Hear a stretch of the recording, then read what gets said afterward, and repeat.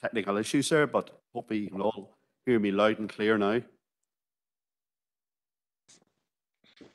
You're all very welcome to the Fermanagh and Omagh District Council Policy and Resources Committee meeting held this evening, Wednesday, the 15th of June 2022. I'm chairing the meeting from the Town Hall in Enniskillen, and I'm joined by five councillors in the chamber and others via WebEx. First of all, a few prelims. I just first of all like to thank my party colleagues for entrusting me with the chair of this very important committee for the time ahead. And I want to pay tribute to the past chair, who was in the chair last year, that Councillor Howard Thornton. Very well done, done there, Howard. I'm looking forward to working with Chief Executive Alison McCullough, Director of Corporate Service and Governance, Celine McCartney, MBE, and the team. Also looking forward to working with all councillors in a positive and constructive manner to get the business of the meetings completed. Just with regard to the system, uh, I will not be muting. And I'll not be keeping people on mute. Uh, you'll be glad to hear that one. But please bear in mind, respect the chair and each other, and there'll be no need to enforce that issue. First of all, I will be going to the chamber and then uh, via WebEx. With regard to this evening's agenda, there are 10 items, some with various reports and some for decision and others for noting. And I've one item of any urgent and relevant business. Uh, it's from Councillor McElduff, and that'll be at the appropriate time. Just to remind members, uh, the deadline for items for any urgent and relevant business is no later than 6 p.m. on the day of the meeting.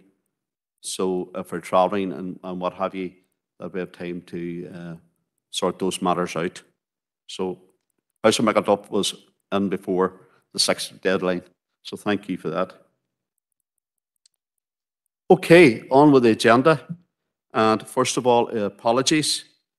And first of all, I go to the Sinn Féin group leader, and that's Councillor Tommy Maguire. Did you switch down here? Agur magad ceirlaí agus go gardis leat agus mór den bblion se hagan go Neri and Thailand. So uh, good luck, Erlin, you're chairing for the next year. Uh, just two apologies from the grouping. Uh, Councillor Anthony Feely, Councillor Anne-Marie Fitzgerald, uh, Councillor Stephen McCann's late but hopes to join us, Chair. Gurmagat. Thank you. Thank you, Councillor Maguire. And next we go over now to the Ulster Unionist Party Group Leader and as Councillor Robert Irvine. Yes, um, look forward to a good year. Um, Chair, uh, no apologies from us as a group. Thank you. Thank you very much, Councillor Irvine. Now over to the Democratic Unionist Party and it's via WebEx and Councillor Paul Robinson. All the best for the year ahead, Chair. Uh, apology from Paul, Councillor Paul Stevenson. Okay, thank you very much, uh, Councillor Robinson. Over now to the Social Democratic and Labour Party, SDLP, Councillor Mary Garrity via WebEx.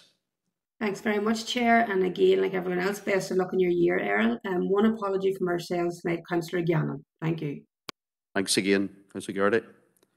And now down to smaller parties, uh, independents. Any apologies?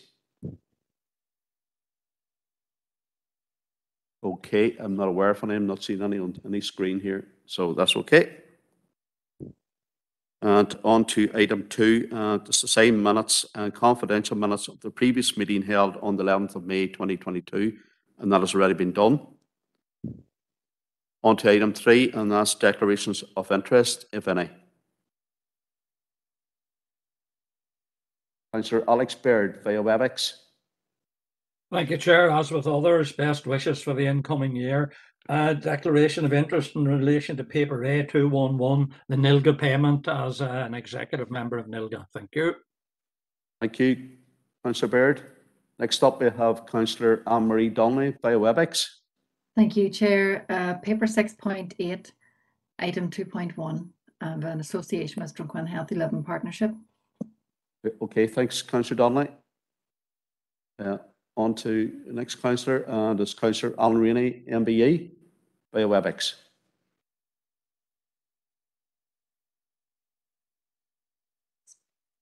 Thank you, Chair. Um, paper five, uh, 2.2, Somme Association, Chair, thank you. Thank you. And I'll also declare an interest in the Somme Association at this juncture. Uh, Again, back to WebEx, and we have Councillor Catherine Kelly. Uh, Yeah, thanks, Chair, and good luck in the year uh, ahead. I'm also on the NILGA executive and declaring an interest there. Thank you. Thank you very much, Councillor Kelly. You lower your hand, that'd be good. Thank you. Right, there's no, no, no other indications. Oh, Councillor Maguire, back to the chamber now for Councillor Maguire. Gummaleshkil, uh, Chair, I, I, my information was wrong on the apologies. Counter Feely is online until eight thirty. I apologise for that. Okay, thank you. Okay, that deals with that one. So we're now on to matters arising and, uh, and it's matters arising from the, the, the two papers. And I'll, I'll bring Celine maybe in, and we'll, we'll cover matters arising away, and that's for the meeting of Wednesday, the eleventh of May, twenty twenty-two. And I'll cover page by page. Page one. Page two. Page three. Page four. Page five. Page six. Page seven. Page eight. Page nine. Page ten. And page eleven. So there are no matters arising there. Okay, that's that one. Moving on to the reports for decision.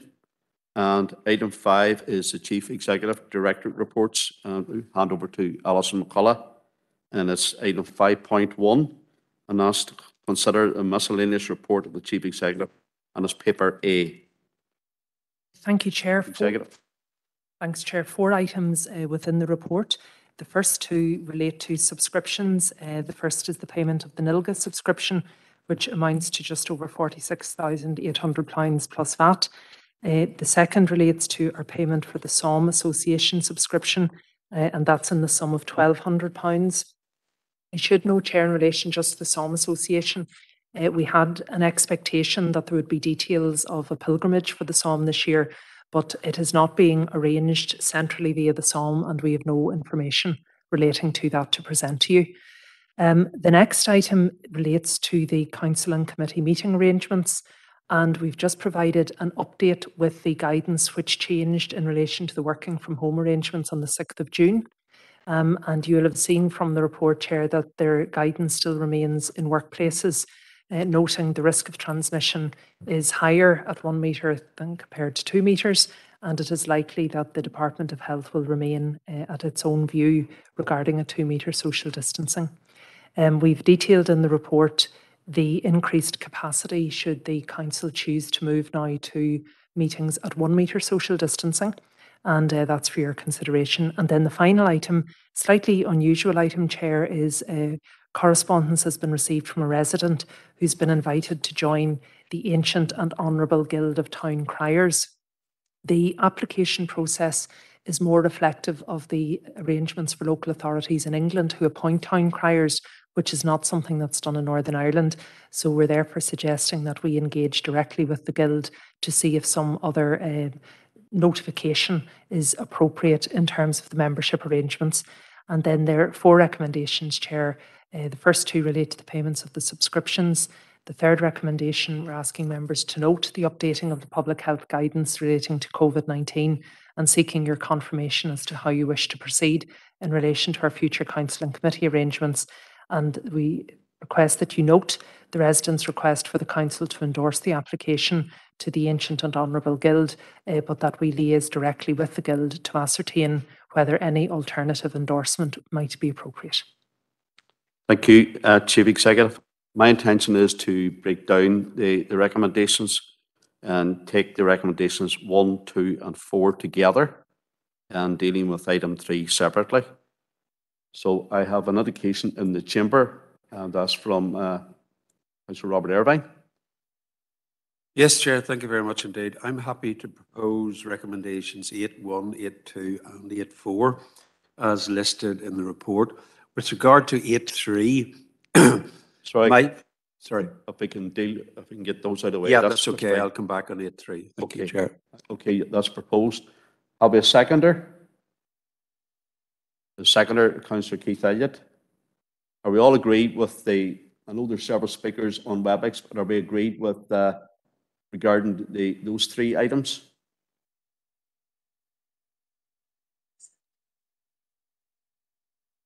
There are four councillors sitting waiting to speak. I'll, I'll just let them in at this juncture. Uh, Councillor Victor Warrington. Thank you, Chair.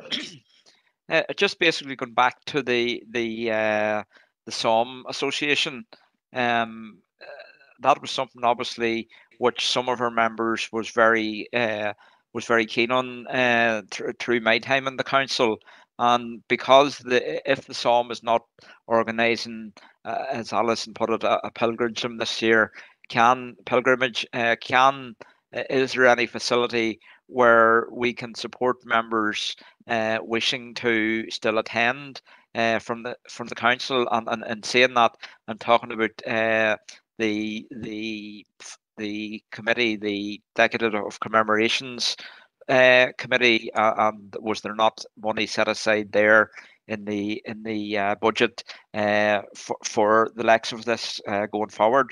Thank you, Chair. Thanks, Councillor Warrington. I'll bring the chief executive on here. Um, Chair, it wouldn't be the norm. I would have to say we would normally uh, receive a proposal um, as to what the costs would be, what the travel arrangements and associated details would be, and that would then be brought to the uh, to the council for approval in the normal way. Uh, we wouldn't generally have an arrangement whereby members would make their own travel arrangements and subsequently be reimbursed for that. Uh, should members wish us to consider such a request, I would suggest at the very least we would need the cost estimate, so that could be before members. Okay, the, the only problem there will be that uh, is my understanding that uh, that is the Somme uh, takes place at the end of this month, so and the start of July. So uh, we'll we'll see how we go. Thank you. Thank you, Councillor Warrington. Uh, I'm going to take the councillors via WebEx on this occasion because they've had their hands up. Uh, If you can lower your hand there, Councillor Warrington. Uh, Next up is Councillor Seamus Green via WebEx. Uh, Thank you, Chair. Um, My broadband kind of uh, uh, dropped there, so uh, just to clarify, is the is the meetings uh, on uh, being discussed on this? uh, We're, we're good, just before you go any further, Councillor Green, and sorry you were dropped out there, but uh, we're going to take that and we've, we have dealt with uh, three of these issues. All right. We're Well, I take wanted that- to, We're going to take that separately. okay, I wanted Bring you in to, at that stage. uh, just, just on the, on the other three, then, uh, uh, uh, just to make a comment on the town criers.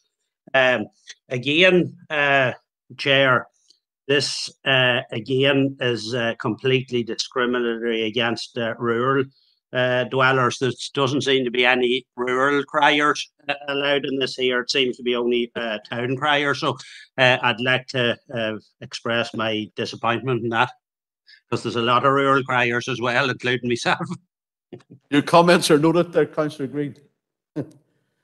Now, next up, we have uh, Councillor Alex Baird via WebEx.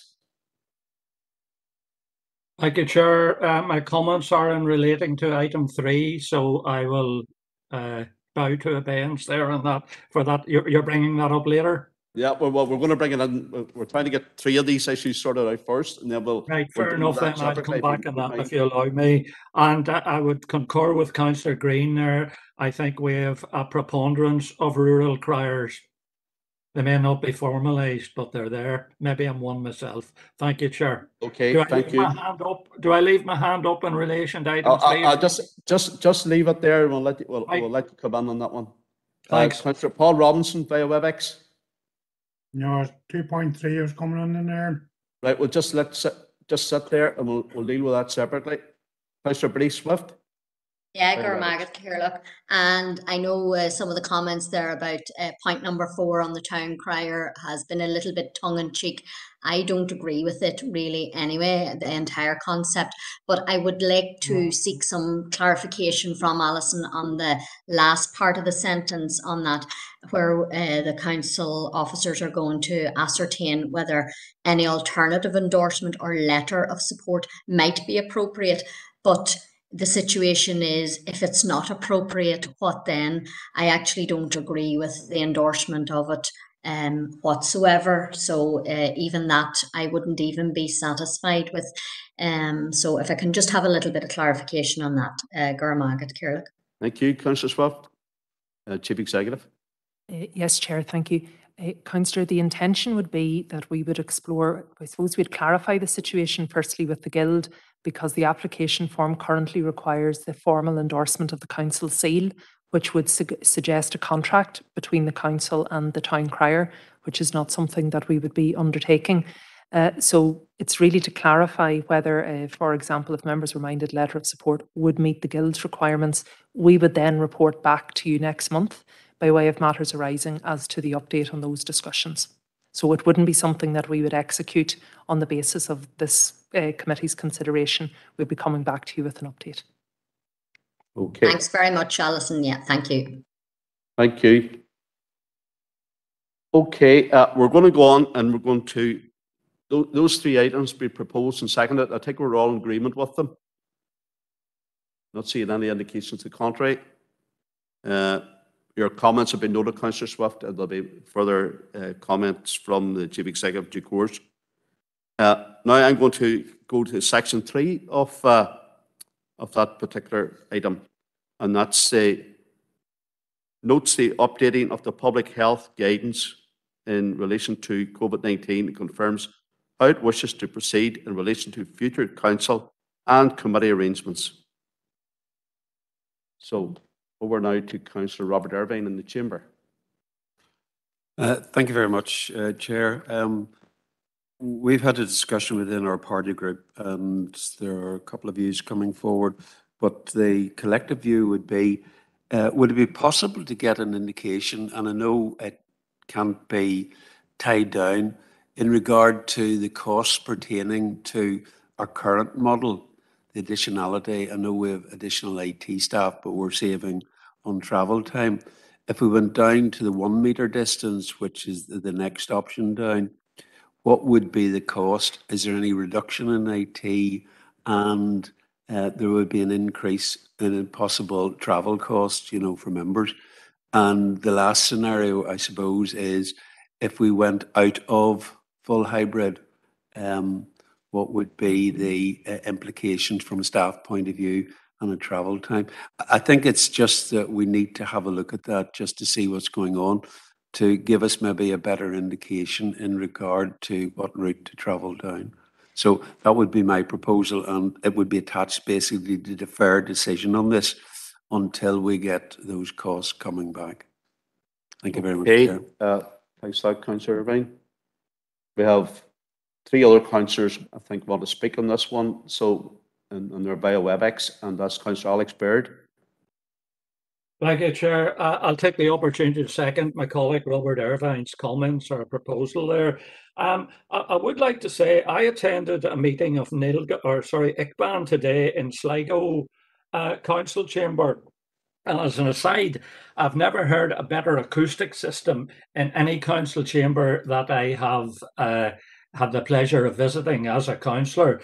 And uh, I would suggest that it may be worthwhile somebody from our IT liaising with Sligo Council. I've got a name of their head of IT with a view to um, looking at the system they have because the acoustics were perfect. Now, the meeting we had today was a hybrid meeting, but there was over 20 councillors at it and, and um, four officers, or three officers rather, from uh, ICBAN.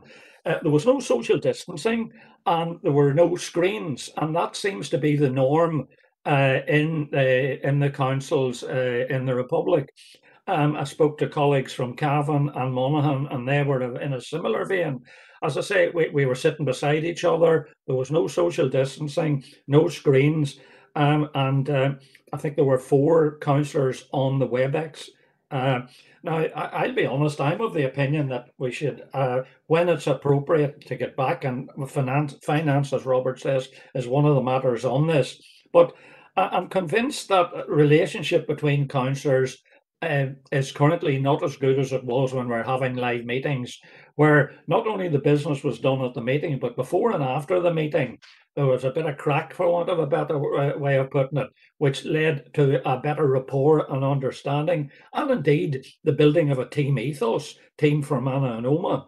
So um, I would just like to put that into the uh, the consideration of things. It seems rather strange um, that on this side of the border, we are uh, Northern Ireland, uh, we're um, we're looking at distance, and we have to take we have to take advice, obviously, from the appropriate authority.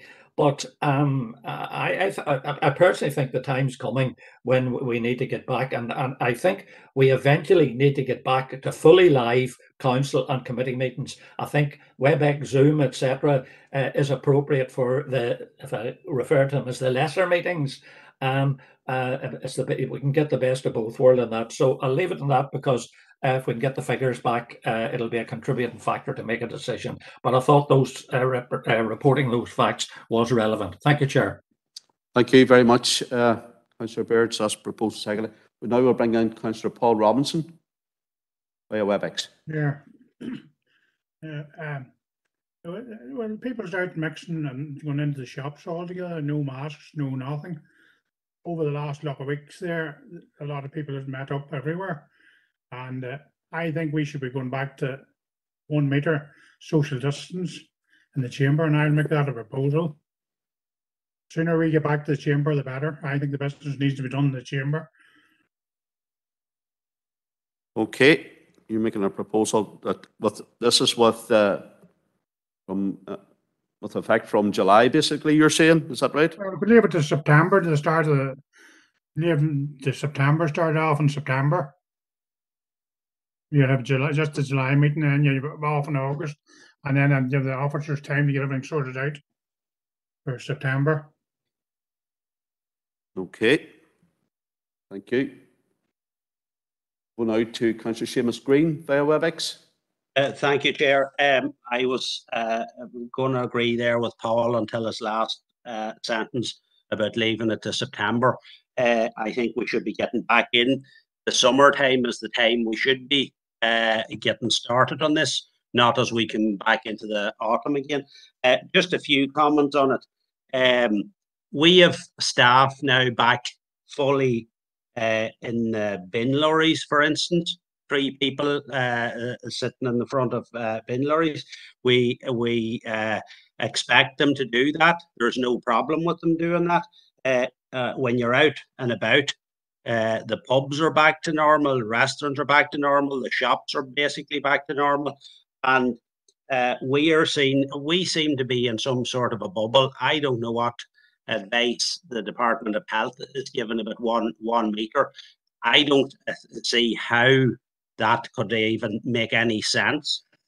That, it, even even a thing. That if you're one meter from somebody, like uh, you're basically beside them. So uh, uh, uh, to me, the uh, democracy uh, is crucial here. That we are sitting in the same chamber making the decisions, not isolated in in our houses uh, talking to other this way. It's not natural. to me, um, Alex made a good uh, point there about Sligo and uh, about uh, building relationships and everything. I think we should be back. I'm baffled as to this advice because nobody out there is, is taking it. Our council staff is expected to get into the lorries together and everything, and uh, we are still talking about uh, um, having a meter apart. It makes no sense whatsoever. So the quicker we get back fully into meetings, the better, in my opinion.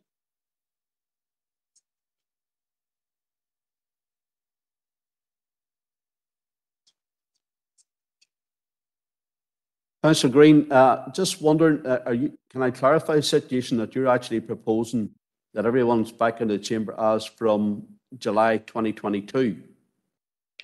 Uh, well, I, I, that's my personal opinion. What we should be doing, but I'm not going to go against it uh, if there is advice that it's uh, if that is the uh, the just to clarify, is this one meter advice or uh, is it recommended or is it actually uh, the rule? Because I I'm, I I don't see it being uh, being anywhere else. Yeah, I, I- I'm going to bring the chief executive in to clarify the situation. Thank you. Yeah, no, just to confirm, Chair, it, it's specifically guidance, so it's advisory in nature. Uh, it's not mandatory and it's not regulated. And in the context of the other workplace environments that were referenced, what the onus on the employer is to do a risk assessment on each venue. So that would include, for example, the cabs for lorries or any other facilities as well. And you you take it, you'll have seen from the report, uh, it says where practicable. So it is not, or sorry, where possible. Um, it's not always possible to maintain distance of one metre, and it is widely acknowledged that that is not being uh, generally adhered to in society at large. Uh, from our own council perspective, we risk assess all of our activities and we do continue to have mitigations in place, but there is no mandatory uh, element associated with this. And I suppose just to be clear, Chair, the, the one metre is coming from the Executive COVID 19 Task Force. The Department of Health is remaining at two metres. Okay, does that clarify the situation for you, councillor Green? Yeah, yeah, it's even more baffling. But uh, uh, anyway, uh, it clarifies it. I know the council is in a uh, an awkward position, uh, uh, but it has only guidelines. But I'm happy enough with what Paul suggested there. But I would, if he would amend it, uh, that we go back in July because surely it makes sense to go back in the summertime rather than wait till later in the year. Yeah. Just, uh, councillor Paul Robinson, uh, I know you suggested September, but to keep some sort of a context in this, uh, are you happy enough with uh, councillor Green's amendment to July? Yes, I can go with July as well. Sooner Okay. the better. I I was think- just thinking of giving the officers time to get everything sorted out. That's what I was thinking. Oh, yeah, I'm assured by the chief executive and to my left-hand side, this assures me that will be done if it, if it needs to be done. Yeah. That's dead on. Okay, thank you. So that's uh, July, and you're agreeing with that. That's seconded by, proposed by councillor Paul Robinson and is seconded by councillor Green. Going back to chamber here now, and we have councillor Emmett McAleer. Thank you, Chair. Um, I suppose two points of note there. It's interesting to hear um, the medical expertise being expressed by some speakers uh, in contravention to the recommendations from the Department of Health at 2.3.3, noting that uh, the risk of transmission is higher at one metre compared to two metres, and again at 2.3.5, it's noted it's not anticipated that the Department of Health's view on a two metre social distancing will change in the short to medium term. It's also, uh, I suppose, a wee bit interesting on a personal note that uh, some some speakers find the the need to to be liked or to to that there be some sort of a different working relationship if people are in the chamber or people are working online. I don't understand how that's uh, important, first of all, but I don't understand how it's going to impact on the businesses being done at hand. We are getting through the business. Um, sometimes we're getting through it quicker, sometimes we're getting through it slower, but we are getting there. The online or the hybrid version, despite its faults and despite its failings, does work. And I think it's important to note whatever we decide that the option for signing in via uh, virtual means, via a laptop or a Surface Pro or whatever, it's a very important that that maintain that is maintained because it's not always going to suit people to come. Um, time wise, it's not always going to suit people who are working to come down come down the road or go up the road, whatever way you're looking at it. So I think regardless of the option um, or any changes proposed to social distancing within the chamber, I think it's vitally important that the option to continue with the hybrid uh, element of the motion or of the meetings is maintained. And secondly, that the the broadcasting or the live streaming of the council meetings is maintained. As, as far as I'm aware, there's no uh, additional expense to the council in terms of broadcasting uh, a video on YouTube. So I think it's hugely important that that's continued in terms of the openness, accounting, accountability and transparency of the council. So I would just like those two points noted, Chair, that we do continue with the potential or the, the option to tune in hybrid uh, through hybrid means, and that we do uh, maintain or continue with our online videoing of the meetings. Thank you, Chair. Thank you, Councillor McAleer. I'll just bring the Chief Executive in here for clarification on those issues. Um, yes, certainly, Chair. Just in relation to the hybrid option, I suppose to note it is dependent on the legislation. The legislation is currently in place, but that is a matter for the Department for Communities. If it lapses, uh, which is possible, uh, then it would be a requirement to be in person. But that would be obviously something we could deal with at that point. And I think, Chair, we've already advised the, the streaming is something that will continue irrespective of hybrid or in-person meeting arrangements. Okay, thank you. And just, just to put my own two pence worth in before I bring anyone else in here, uh, Councillor Baird had mentioned uh, people uh, pre-meeting and post-meeting. I think those of us who were in, in council at that time really appreciated that, that even we come from different backgrounds or whatever, we could still be civil to each other. And uh, a lot of that was done pre-meeting and post-meeting. And we got on with the business when the meeting was on. So I just want to put that on there as well. Uh, back into the chamber now, and we have uh, Councillor Tommy McGuire. Guru Margaret Carley, thanks, Chair. And, and- and again, I suppose I'm just seeking more clarification because there's, there's various options were proposed there. But I see in our report that if we do reduce to one metre, there'll still only be a maximum of 27 councillors available to the town hall and only 22 to 25 in the Grange.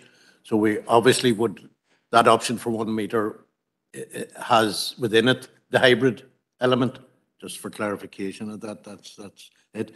And just another point that was raised by the council, is there a charge for the YouTube streaming of these committee meetings? Just to, it's something I hadn't considered before. Thank you, Councillor McGuire, Chief Executive. Yes, maybe just um, one thing to clarify, that would be the total occupancy. So the 27 would me- be members and officers, just to note. And uh, no, we have already integrated, I suppose we have the costs of the IT equipment and the streaming. So that would just all be, we can bring the detail of those through, but there's no additional costs at this point, Chair. Okay, thanks, Alison. Um, back now, uh, still a number of speakers to come in via WebEx. So I'm going to dedicate myself to WebEx now for the next number of minutes. Uh, first of all is Councillor Dr. Josephine Deehan. Thank you, Chair, and uh, may I offer my congratulations to you on being elected as Chair of the Policy and Resources Committee, and I uh, wish you well uh, in the upcoming year.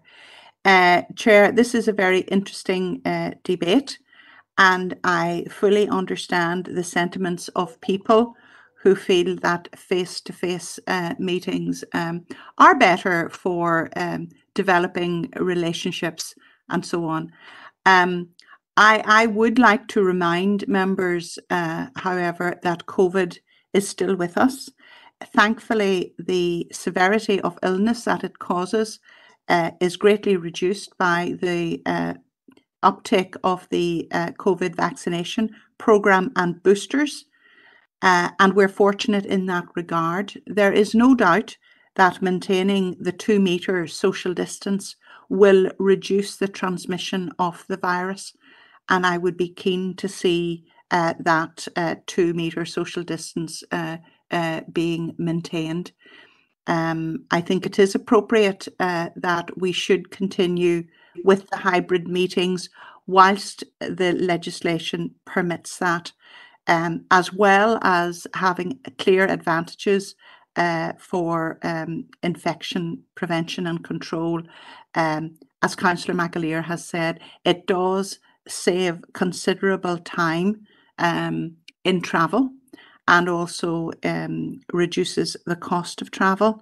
Uh, so uh, that is something I think is to be welcomed. And also, uh, members may have medical conditions uh, which are not apparent, and some patient, some members may be more vulnerable to the effects of COVID-19 infection than others. So whilst the legislation permits, Chair, I would be in support of continuing with the hybrid model and also continuing with the two metre uh, social distancing. Thank you. Thank you, Councillor Deehan. Uh, and I suppose it's worth uh, clarifying the situation with regard to the different meetings that we do have. Uh, I think what we were talking about here is the full council and the main statutory committees. of the council that would be in person. The, the other uh, working groups, steering groups, and external bodies and subcommittees would be uh, on online, virtual. Okay, moving on to the next councillor, and via WebEx is Councillor Paul Blake. Thanks, Chair. Thanks for letting me in and wishing you all the best for the year ahead. Um, I also would be very much in agreement with Councillor Robinson and Councillor Green that if we can start back next month and having having people back because we can see it in all walks of life that people are starting to move on with their lives in whatever capacity they can while whilst doing so safely. So I think it's it's it's important as well for us as, as a body that we we start to operate like that as well. Uh, too that if all our staff are doing that, then we should be starting to do it too. And I think it's it's very important. It mightn't be to Councillor McAleer, but Councillor Baird made a very good point about how important it is that we work as as a team collectively uh, as part of the greater good, and that's what we're all trying to do as councillors in this. And as you say yourself, Chair, that the time that was spent pre and post meetings on the last mandate of the council, and also there's part of this one too, was that there was there was so much work that was done at that time, and it was good for building relations, and it's it's so important going forward as well too. So that's happy to start back next month in that regard. Thanks, Chair. Thanks, Councillor Blake. Thank you for your comments. Uh, next up, we have Councillor Stephen Donnelly via WebEx. Uh, thank you very much, Chair. And I suppose I will start by saying that whilst, of course, there will be elements of uh, the work of the council where it will be impractical or difficult to implement the health guidance that comes through for particular circumstances. I think that where it is possible to see it implemented, that it is important that we do demonstrate a leadership role because, I mean, quite often these things are being adopted outside uh, uh, in the wider world in terms of workplaces. And I think that it is important that we do demonstrate a leadership role in that respect. And I also have to say, just in terms of the wider conversation around how we re- return to work as things do progress, I think that it is important to remember around the conversation of hybrid working that actually there have been significant benefits that have been accrued. And it strikes me as clear that if there are things that we are to learn from the pandemic, we should also learn the lessons around how we actually improve things like work life flexibility, um, making sure that our workplaces are more inclusive of people with uh, difficult work life balances, such as parents. Uh, indeed, actually making things more inclusive for people who have to travel from uh, uh distant rural areas, uh, which is something that is a very major concern in this particular council area. So I think that whatever way that we decide to go forward, we are going to have to maintain some element of the hybrid model to ensure that we do have inclusion, whilst also, of course, facilitating those who prefer to have the in-person meetings and model. And the final point that I would just say, Chair, is this, which is that I take on board what a lot of people are saying around um, the need to, have these in-person conversations uh, and interactions to be able to build positive relationships. But equally, I think that we have to accept the principle that good courtesy, strong relationships, and being able to work together is not something that should be contingent on physical meetings. We should be able to have that, whether that's in a virtual format or in a physical format, because I don't think that that should be. Uh, I don't think physical conditions. I don't think physical meetings should be a precondition of those kind of relationships, and and I think that's an important point that we need to work on the basis of. Thank you. Thanks, Councillor Donnelly. Next up, we have Councillor Victor Warrington via WebEx. Thank you, Chair. Thank you. Um, I suppose I have a few comments to make, uh, and a lot of them, uh, to some degree, has already been covered. Um, I suppose there's a lot of people out there who, as Councillor Deehan highlighted, is, is CEV is, is vulnerable still to the uh, to the virus, and certainly I would have come into that category myself. Um, but you know, as other people have said, we have to move on. Um, I would be hesitant um, to go against the the the was coming from the Department of Health uh, in in basically their suggestions and recommendations.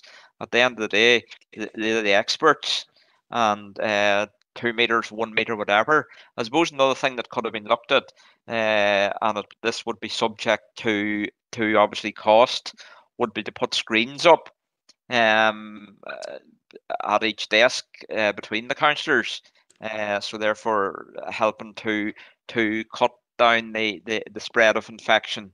Um, uh, I don't know if that's something could be looked at uh, as what it would cost or whatever. And I, suppose finally, one thing I will say, uh, pick up on something that uh, Councillor McAleer said.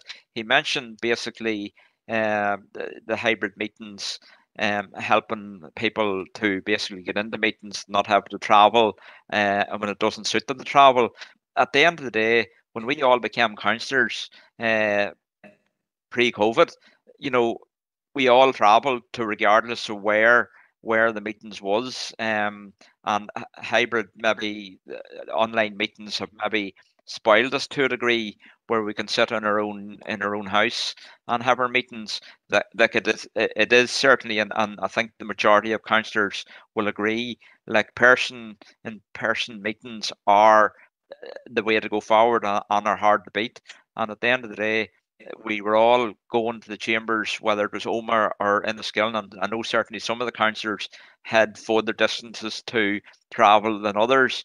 Uh, councillors from the garrison, uh, that area, and councillors coming from Rosslea or whatever, although I don't think we have any now. But certainly, th- that is the points I'd like to make. Okay, thanks, Councillor Warrington.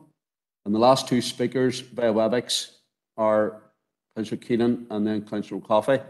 So Councillor Evan Keenan via WebEx. Thank you, Chair. Yeah, well, um, I would tend to agree that I, th- I think the the option of still having hybrid meetings is vital. I think we did have figures. Uh, the officers gave us figures about six months ago or maybe more about the attendance, and the attendance is actually well up at the meetings, at all meetings, be, because of since the hybrid meetings have come in. So that has to be that also has to be considered. You know, um, I know Victor's saying that everyone used to try and jump in the car and get down to the meetings, but it's it obviously it's obviously not always possible. Um, uh, if the numbers of the meetings are up via the hy- hybrid, you know, it's more democratic. To, there's there's everybody's in there. There's more oversight. I think it's definitely has to be looked at and considered.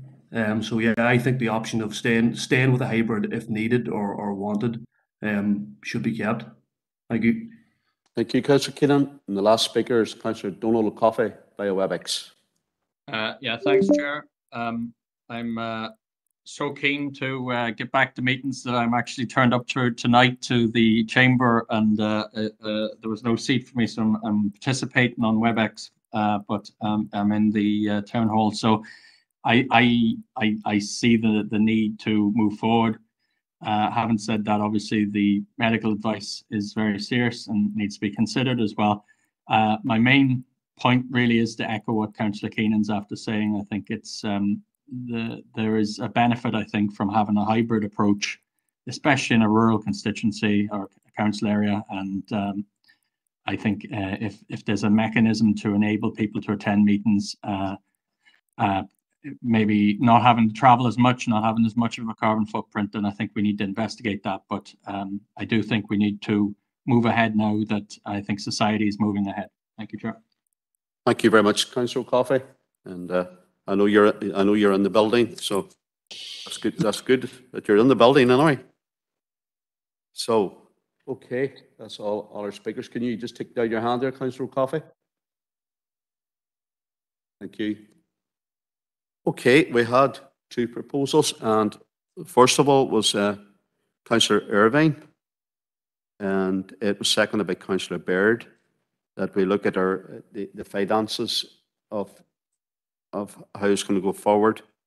And then uh, I think we're going to have to take two different votes on this because uh, Councillor Paul Robinson proposed that we go back into meetings in July at a one metre distance, and that was seconded by Councillor Green and supported by Councillor Blake. So uh, I think if maybe I'll, I'll bring the chief executive in at this stage to outline exactly uh, Councillor Irvine's proposal.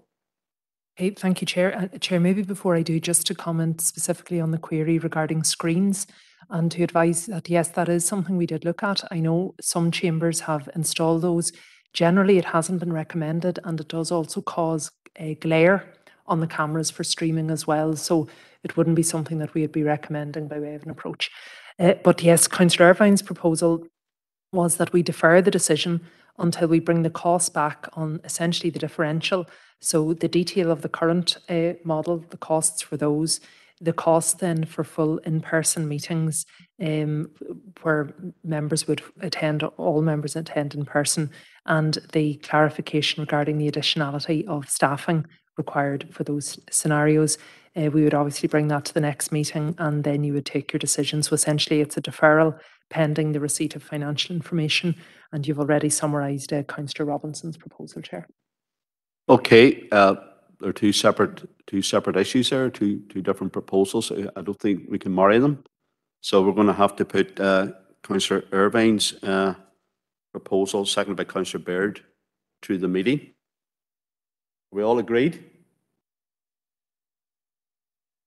No, I'm seeing dissension in the ranks. Sorry?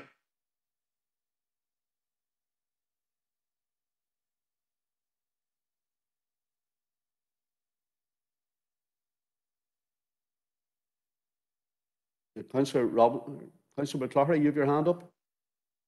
Yeah, I'm just seeking a, a small bit of clarity. Um, surely we're not going back to full meetings if we're ab- abiding by the one meter rule, and, and that's what we're voting on with both motions. So, so Councillor Irvine's is, is what is the differential between the current format and the few extra councillors getting into the chamber? Is is that not the difference? And then Councillor Robinson's is that we just go ahead with the twenty odd councillors in the chamber and the rest of us still at home, or those that those still at home that don't come to the chamber. Is that is that not what we're voting on? We're not going for just to ignore Sorry, the Councillor. My, my, my advice and my take on it was that it's two separate issues. And I've tried to clarify that with the chief executive on this matter. And I think she's of the same thinking. It's two different proposals here we have. So, uh, and, and I know where both of them are coming from. So we're going to go to Councillor Irvine's proposal, and I think we'll just go for a, a vote, if we can set up a vote for that. Everyone else remove their hands or lower your hands, please.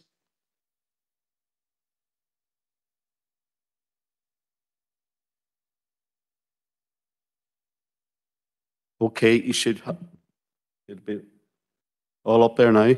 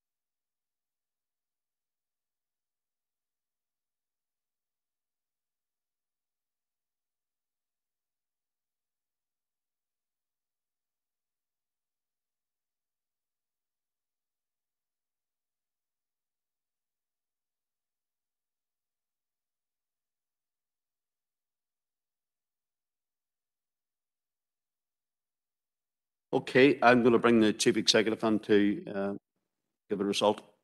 Thank you, Chair. So for Councillor Irvine's proposal, there were 13 votes for, 16 against and one abstention, so that proposal falls. Okay, thank you for that. And can we set up another uh, vote here now for uh, Councillor Robinson's proposal, seconded by Councillor Green and supported by Councillor Blake?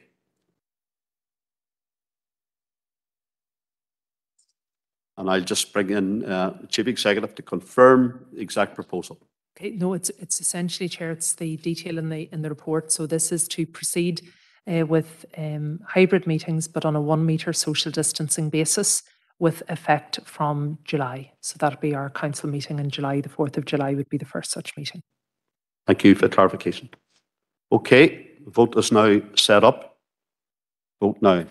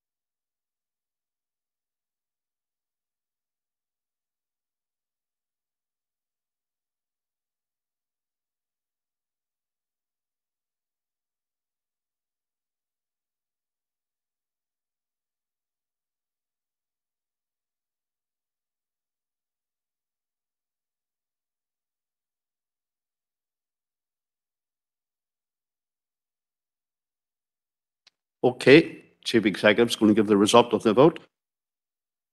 Chair, thank you. So that's 21 votes for, 10 votes against, and one no- non-voting as opposed to abstention. So that proposal is carried. Okay, and that's, uh, that is, that vote has been carried, t- 21 for, 10 against, and one abstention. Thank you very much. So prepare yourselves all for the July full council meeting. Okay, I think it was worth uh, spending a wee bit of time on that, and I know we have lost time at the start here, but now we are uh, moving on from that. Sorry, Chair. Chair, uh, would you give me a little, Alec Baird, could I have clarification on how the numbers will be decided on, on the, uh, the one metre distancing rule, twenty-seven in Enniskillen and 22, 25 in Omagh? How will Yeah, that be o- decided? Okay, I'll, I'll bring the chief executive in for clarification. Do- Mr. Baird, thank Yeah, you. Chair, as we have been previously. So we've we'll use the Dawn schedule and the only difference is the increase now in numbers. Thank you, makes infinite sense, Chief Executive, thank you. Thank you, councillor Baird.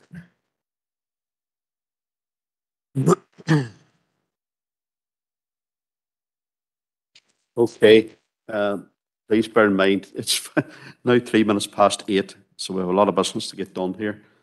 So uh, moving on to item six, and that's Corporate Services and Governance Directorate reports. And the first one is six point one, and uh, is to consider report consultations. And it's paper B, and we're going to, again, we're going to break this down into two parts. And it's over to uh, Celine.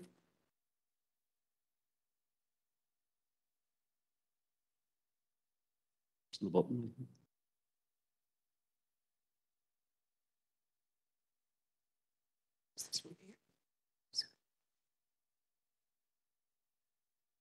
Hello, can you hear me? Yeah, Yeah. thank you, thank you, Chair. So this is uh, an, an important report that uh, it's our draft consultation, firstly, uh, for members' attention on the, uh, the Council's response to the consultation exercise on the review of urgent and emergency care services. Uh, the document uh, comprising our response is attached at Appendix 1. It was circulated to members last week seeking feedback and response. Uh, we did receive some feedback and the, the version that you have on decision time has been updated to reflect that feedback and there is some markup there that hopefully that is clear as well. So there are three strategic themes in, in this uh, report and they're set out at 1.2.4. Sorry, uh, yes, and then the, um, the, the council's response then notes, makes, makes comment under those three strategic priorities, as well as highlighting then issues in relation to the Northern Ireland Ambulance Service, uh, communications issues, the major implications for rural residents, um, concerns over the telephone first system, uh, and then also general comments around the ageing population and existing health inequalities in the district, the need to maintain urgent and emergency care and highlighting current community concerns about local hospital provision. Uh, we have liaised quite widely in, in developing this response and accordingly we hope that it does reflect well the, the Council's position as, as stated um, on, on, on various occasions Um, so pausing at that, Chair, the recommendation in relation to that item is that the Council would approve the draft response on the consultation of, of review of urgent and emergency care services in Northern Ireland, and that would allow us to make uh, the submission by the end of the month. Okay, thanks very much, Celine. Uh, Looking at uh, WebEx, there's no one in the chamber wanting to speak at this moment in time. So um, looking at WebEx and we're looking at uh, Councillor Dr. Josephine Deehan. Thank you, Chair, and uh, I would like to thank um, Celine for her report and uh, to thank her team for producing what I feel is really an excellent uh, consultation response.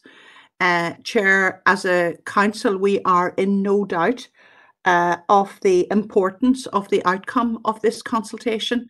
And I think this response uh, document has summarised very well uh, many of the concerns, particularly given that we are substantially a rural council. Uh, that those concerns have been expressed on many occasions within uh, the council chamber, not least of which is protecting the acute services uh, which we have at the Southwest Acute Hospital. I really don't have too much to add, Chair, uh, other uh, than uh, just in terms of uh, staffing issues and to ensure um, equity of pay uh, between part-time, pro rata, full-time and agency workers. I think the main issue here relates to workforce planning and to make sure that there is uh, adequate ability to staff uh, our services. Uh, so I think maybe a comment could be made on that. In relation to intermediate care, I think the points that are made in this response are good ones. Uh, intermediate care is critical in ensuring that no one needs to uh, to remain in an acute hospital for longer than they should do. We have had discussions in the health and social care a, subcommittee about uh, uh, step down facilities, and I believe that we need more of those. Uh, and finally, then, Chair, um, the the whole premise of providing care close to the patient should also include strengthening of the rapid response uh, team, which does uh, provide excellent care at home for uh, patients in need, and also increased provision of acute care at home, uh, which we certainly don't have at present in the Omagh area and, and minimally in the Enniskillen area.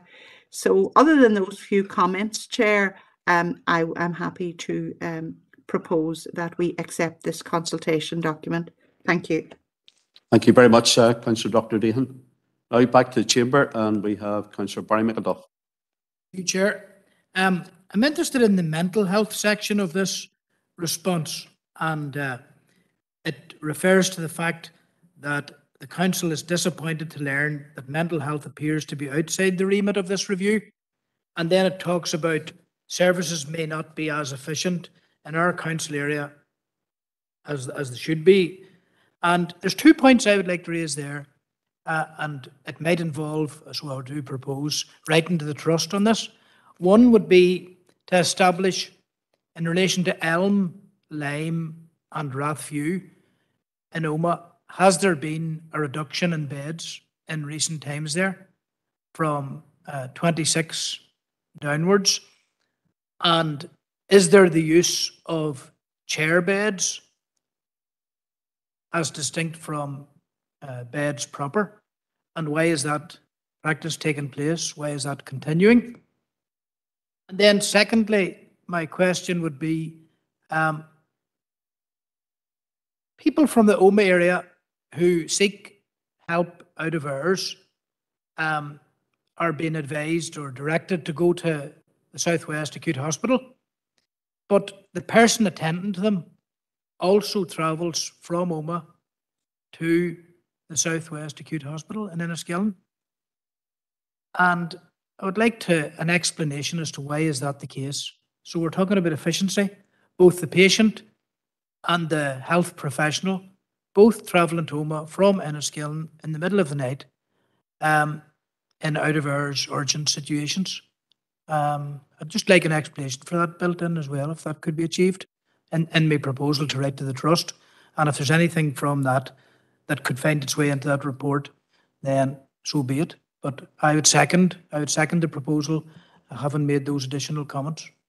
Okay, thanks, Councillor McElduff. So you're seconding the, the initial proposal as proposed by Councillor Dr. Deehan. And you're making a separate proposal to write to the Western Health and Social Care Trust uh, with regard to Elm, Lyme and Rathview uh, less beds issue. Okay. Happy enough, Celine, is that? Um, okay, we're, we're going on now to uh, Chamber again, and it's Councillor Emmett McAleer. Thank you, Chair. No, um, Councillor McElduff raised a, a number of very good points there, and if need be, I'm happy to, to second his proposals and maybe with the, the addition, just a, a separate question or a follow-on question in relation to um, CAMHS provision uh, across uh, the district as well. Um, just really to get a feel for uh, staffing provision at present and the, I suppose, the the training which has been provided to the staff currently working in that area because again when you're talking about mental health it's something that's extremely important. And i'm hearing stories of uh, serious issues in terms of uh, waiting lists and, and not only that but actually the, the stoppage of waiting lists because the, the backlog is getting so serious. So uh, massive massive concern. Um, not helped in any way by the, the last couple of years of the pandemic and, and various lockdowns and that. So I think it's something that really needs to be addressed when we when we deal with the, the mental health aspect of this document. So if that would be included or addressed as well, I'd appreciate that. Thank you, Chair. Okay, so you're seconding Councillor McElduff's proposal uh, with regard to the trust, and you're, you're adding your own piece in there as well. You happy to accept that? Okay. Okay, we go back to uh, WebEx now. We have Councillor Donal O'Cofaigh. Yeah, thanks, Chair. Um, I, I just want to start off by saying that I think this is a very strong, uh, reiterating my uh, the opinion expressed by Councillor Deehan there that this is a very strong response, and I'm glad to see uh, the, the comments that I'd sent in, uh, which were made mainly, mainly additional, um, have been fully integrated. Uh, I think it is hugely concerning that we're seeing uh, this approach. Uh, there's an element of crisis management about the the entire need for review at this stage. Uh, the statistics confirm that even over the last year, the the attendances at uh, A&E services have gone up right across the board. That reflects the pressure on GP, frontline GP services. And it is notable that the increase has been uh, greater than average in uh, the Southwest Acute Hospital. Uh, the response we've prepared addresses a large number of concerning areas and also identifies areas where we need to see action certainly the issue of uh, pay for uh, frontline workers, but also care workers is addressed and conditions and so on. These are vital constraints on labour force. The labour force development is also touched upon, and I think that's very important as well. One of the most concerning developments, I think, around um, the whole uh, discussion and narrative on A&E is this new division into type 1, 2, and 3 uh, wherein uh, type 1 is a what we would call an A&E, type 2 is an A&E minus effectively uh, emergency surgery, such as now is in the case of Daisy Hill Hospital in Newry. Type 3 is what we would be talking about a degraded, uh, like a, an emergency sort of uh, an urgent care unit or whatever. With that in mind, I just I think there may be a typo at the bottom of uh, page three where there's now a footnote referencing a type 4 A&E department, which I don't think uh, is necessary, or uh, I don't know why that's in there. I think there's only three types from everything I've read on it, but uh, if someone could check that. But um, the statistics confirm that uh, the numbers attending in our A&Es uh, uh, at the moment are among the lowest, and with the mindset that is characterized by this idea that you should be able to travel uh, for the most appropriate care. This doesn't work with uh, acute services and emergency services in particular. I have to commend the references to the uh, the academic research, for example, Kelly and Boone, Hostiger and Pieper in 2020, which we have included in this, which highlights that there is actually a link between travel time and better outcomes. That's something. 20 seconds, councillor, 20 seconds. Everyone knows that to be true, and it's important that we stand over it. So I'm happy to support this. Thank you, Chair. Thanks, councillor Coffey. And last speaker on this issue is councillor Victor Warrington, via WebEx. Yeah, thank you, Chair. Well, like I think uh, everything's been highlighted in the previous speakers. Uh, I've read this and it's certainly quite a strong uh, response on it uh, with a lot of good points. I suppose the only thing that maybe uh, wasn't uh, highlighted maybe was the uh, out of hours uh, inner area, which is uh, obviously needs um, certainly looked at uh, as we go forward. But as a document, very well documented and well done to all those involved with putting it uh, together. Thank you. Thank you. Can, well, can I just say at this juncture, uh, just remind councillors that this consultation went out some time ago and the director and myself discussed it earlier on. There were a couple of councillors came back with uh, feedback on it and it has been included. So I think that's the key as we move forward in consultations is please do take part and uh, if you have any uh, thing to say, put it in writing and that we can get it dealt with a, a bit more quickly. Okay, uh, just with regard to the document itself, being proposed by Councillor Dr. Deehan, seconded by Councillor Barry McElduff. I it we're all agreed.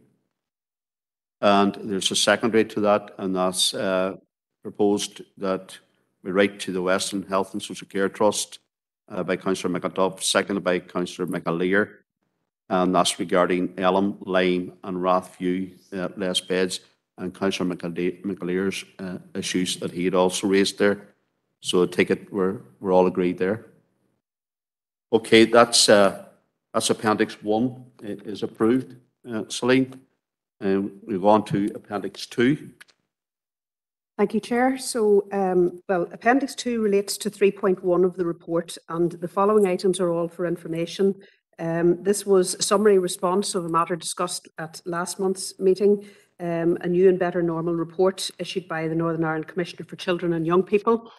And uh, just for, for members' information, there's information about the consultation previously um, approved by the committee, which has been submitted, and then information for your attention on a series of forthcoming consultations. And uh, just for, by way of navigation, uh, if you download the, the, the report and then click on the, um, on the title area, it will take you directly into the, the relevant consultation information and uh, members may wish to have, have a look through those. Um, and then some, we will be bringing back consultation draft responses where appropriate. So that takes us to 11.2, which is uh, that all of that information then is, is noted. Okay, thank you very much, uh, Celine, for that. And bear in mind, councillors, before I bring anyone in, this is for noting, and I want to propose and seconder for noting before any other comments are made. And go to the chamber now, and we have uh, councillor Emmett McAleer. Thank you, Chair, and thanks to the Director for bringing the report back to us. It was uh, myself that had requested or uh, proposed that we actually support this as opposed to just um, noting it. So forgive me for, for not wanting to just note it. I think we need to actually support this document and not an We have, but it's, as it is, what is in the document here, and we have a noting of it first, and then if you want to make further Well, yeah, comments. happy, happy to, happy enough to note it with that, with that information, Chair, and, and I would propose, excuse me, I would propose that we actually contact the executive, uh, noting their support and asking and urging them to implement that this as a, as a matter of urgency, because it is a, a hugely important issue when dealing with the, the young people that, that are not just within this district, but, but right across the, the north here. Um, in relation to uh, the notes on the, the, mi- the mineral prospecting licenses, I would actually urge that we uh, contact the department to state our strong opposition to those. Um, I note that there is a, slight typo in terms of the date, uh, 5.4.1 there. It should be the, the 20th of August. Sorry, councillor McAleer, I've been advised this is coming forward to again, again, as Celine had already indicated, and Alison's just confirmed, coming forward to July 2022 meeting. Right, well, Chair, I, I would just, I'll finish up, but I would just make a, a note or a- an observation that, that again, this district and west of the Bann seems to be a sacrificial zone for these extractive industries, these toxic industries. We're promoting tourism, we're promoting agriculture and fishing here, and yet we're being bombarded with an influx of these toxic industries. And uh, I will, uh, I'll pass on some documentation I've got from DFE. I'd requested a breakdown of the, the coverage at present of our district area, um, Strabane and Derry City uh, district area, and Mid Ulster of uh, the, the current active uh, mineral permissions. And it's quite shocking when you actually see that in black and white, Chair. So I'll, I'll pass that round members. But when you hear or see uh, in black and white that over a quarter of our own district area is currently under prospecting licensing uh, for these toxic, poisonous industries, it is really quite concerning. And I do think we need to be making a massive statement of opposition to this. And uh, I'll leave it at that for now, Chair. Thank Okay, you. Thanks. More, all councillors want to come in here. Uh, via WebEx, councillor Howard Thornton. Uh, thank you, Chair. Uh, I'm quite happy to second the noting of the contents of eleven point two. Okay, thank you. And next up, we have councillor Donal O'Cofaigh. Yeah, thanks, Chair. Um, and uh, being that this has been noted, uh, I'll just keep my uh, words brief. Uh, I think that uh, there is a genuine concern. I think that our, our council area is now exactly as been stated there, becoming a sacrificial zone for uh, what are quite toxic industries. Uh, uh, many of the practices, these are intense industries uh, involving very, um, you know, extreme processes and uh, very, you know, a lot of chemical extractive uh, procedures, and all of this involves mining. It involves um, removing materials from deep underneath us in an area which is high radon, high uh, natural radioactivity, high. Uh, uh, we know that there's uh, uh, there is heavy metals because they're going for them, and these things also cause a variety of diseases if they're released. Uh, these are all for-profit operations. We can anticipate how they're going to handle health and safety. We can anticipate that they're short-termism. We can anticipate many uh, negatives. And I don't see really why we as a community have to suffer this when what we want to do is actually position ourselves as a, a clean environment with a strong, clean agricultural, tourist, uh, you know, environmental product. So many things going for this area: clean water, clean air. We've got so much going, and we don't want to mortgage it and mortgage the future, future genera- uh, the future generations to come. So I, I, I entirely agree with Councillor McAleer. Second his proposal that we should strongly oppose these industries. Thank you, Chair. Uh, Please bear in mind, councillor Coffey, that this is coming up in July 2022 again for, for further actions. So uh, we can bring the chief executive and maybe to clarify the situation here with that. No, regard well, to- well, well, Chair, just to confirm, as you've indicated, this was discussed at the council meeting last week. It was, the correspondence was noted and advised that responses would be brought to the Jul- July committee uh, schedule. I suppose it's worth noting for the record that the council has always opposed these mineral applications. Okay, thank you very much. Sure, we're all agreed there, not? Happy enough with Celine with, with that? Yes, document? Chair. Okay, and now we're moving on to, uh, Councillor Warrington, Councillor Swift, you have your hands up. We're moving on. If you can lower your hands, please. Moving on to six point two, and that's to consider the report on rural needs annual monitoring report, twenty twenty-one to twenty twenty-two, paper C. Chair, this provides information on the council's own uh, responsibility and action in relation to rural proofing. So it, it doesn't look at other organisations, it does look at what we have done. So over the course of the last year, we have, uh, we have completed eight rural proofing exercises in connection with specific policies that the council has uh, considered or reviewed. And the detail of those eight policies is set out in Appendix 1. And you can see that those policies um, range from assisted bin lift uh, through the corporate funding policy, fraud and corruption, mobile and smart device, raising concerns. So they are, a number of them are corporate policies, and in the majority of cases, the conclusion is that they will be applied consistently across the piece and, uh, you know, have, have limited uh, impact in terms of whether it's, it's rural or um, a more urban issue. They, they will be applied equally to both employees and where appropriate to, to the public. Um, I, I'm hoping that this was uh, highlighted at the, uh, the last Rural Needs um, Subcommittee. Uh, but this is a a formal process that the council makes a return to DAERA in connection with this work uh, by the end of, of the month. So we are seeking your approval of our annual monitoring report on rural needs for submission to DAERA. Thank you very much, Celine, and uh, two councillors via WebEx, no one in the chamber. Via WebEx, we have councillor Bernice Swift. Yeah, Gurmaga Kirlock, and yes, Celine, uh, I'm satisfied with all of this, and it's fundamental that the response goes straight back to DAERA on all of the matters outlined. Thank you for that report.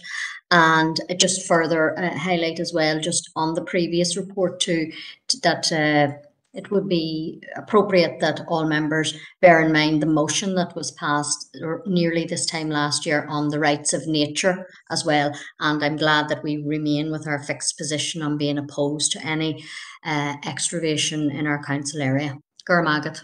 Okay, you're, you're proposing the uh, 6.2 then?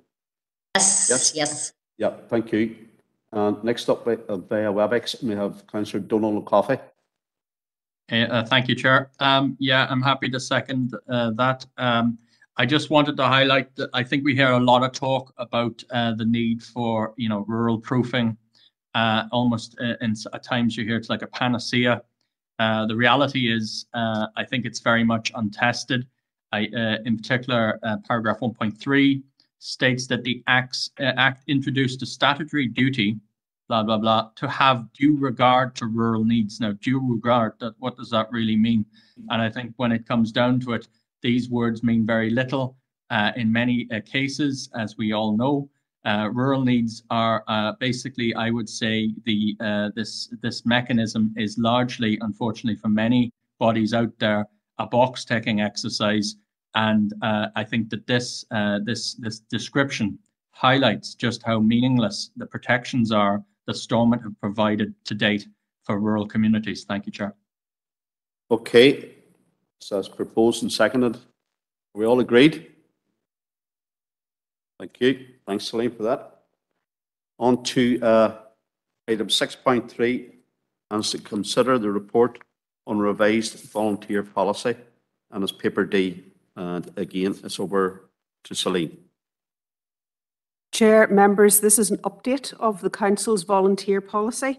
Um, it's been updated to reflect some practical issues um, around arrangements in, in the context of the pandemic, um, and also just a general update to reflect uh, some council um, can, uh, other related items that uh, the corporate plan, etc., that have been updated in, since it was last prepared. So uh, the at Appendix One, you have the marked up version of the uh, of the policy, and uh, we are seeking your approval of that revised policy. We've taken the opportunity as well to highlight some of the volunteering work that is is going on in the council and. Uh, the the um, the important opportunities that it does offer to many of our community who who do actually enjoy um, becoming involved in, in some aspect of, of uh, public life and work. Uh, and uh, we have a current uh, opportunities that uh, have been recently launched as part of Volunteer Week. So uh, that's for information, which is the second part of this report. So I'll be happy to deal with any queries. Okay, thanks very much, Celine, and thanks thanks for all the work and you and the team and the document as well. Excellent. Uh, okay, we're looking for a proposer and seconder for the approval and adoption. Councillor Paul Robinson via WebEx is proposing. Proposed. Second, seconded by uh, Councillor Robert Irvine in the chamber. Just going to bring Councillor Emmett McAleer in uh, for comment.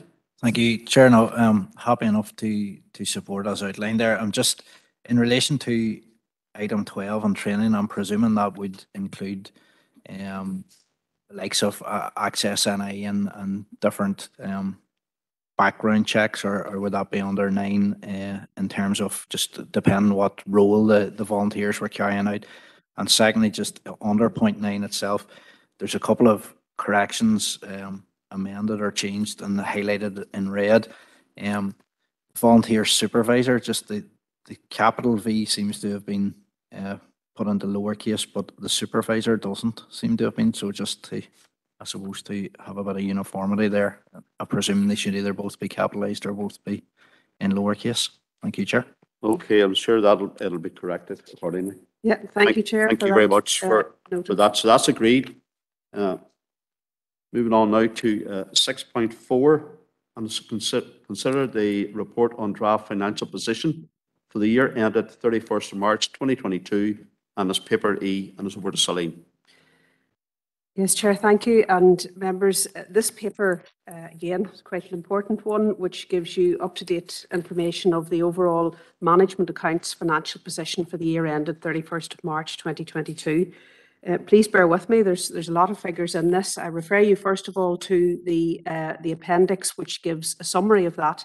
Um, we have also provided on decision time a detailed breakdown by cost centre um, of the of the how these figures then comprise by by service area. So that may be of interest and relevance to to members. Um, obviously, there's uh, it's it's quite another level of detail again. Um, in summary, this uh, is another year where the budgeted figures and the actual outturn are quite different in many respects due to uh, a number of factors, and um, those are outlined at, at paragraph 2.3. Um, there has been additional income. A lot of that has come from central government uh, by way of um, Department for Communities funding, additional revitalisation and tourism grants, additional funding from the Department of Agriculture, Environment and Rural Affairs uh, in relation to COVID uh, costs, uh, and then um, some additional income that has been raised uh, through service income. Um, when I say additional income, uh, it has recovered to a, a level better than what we had originally budgeted for the year.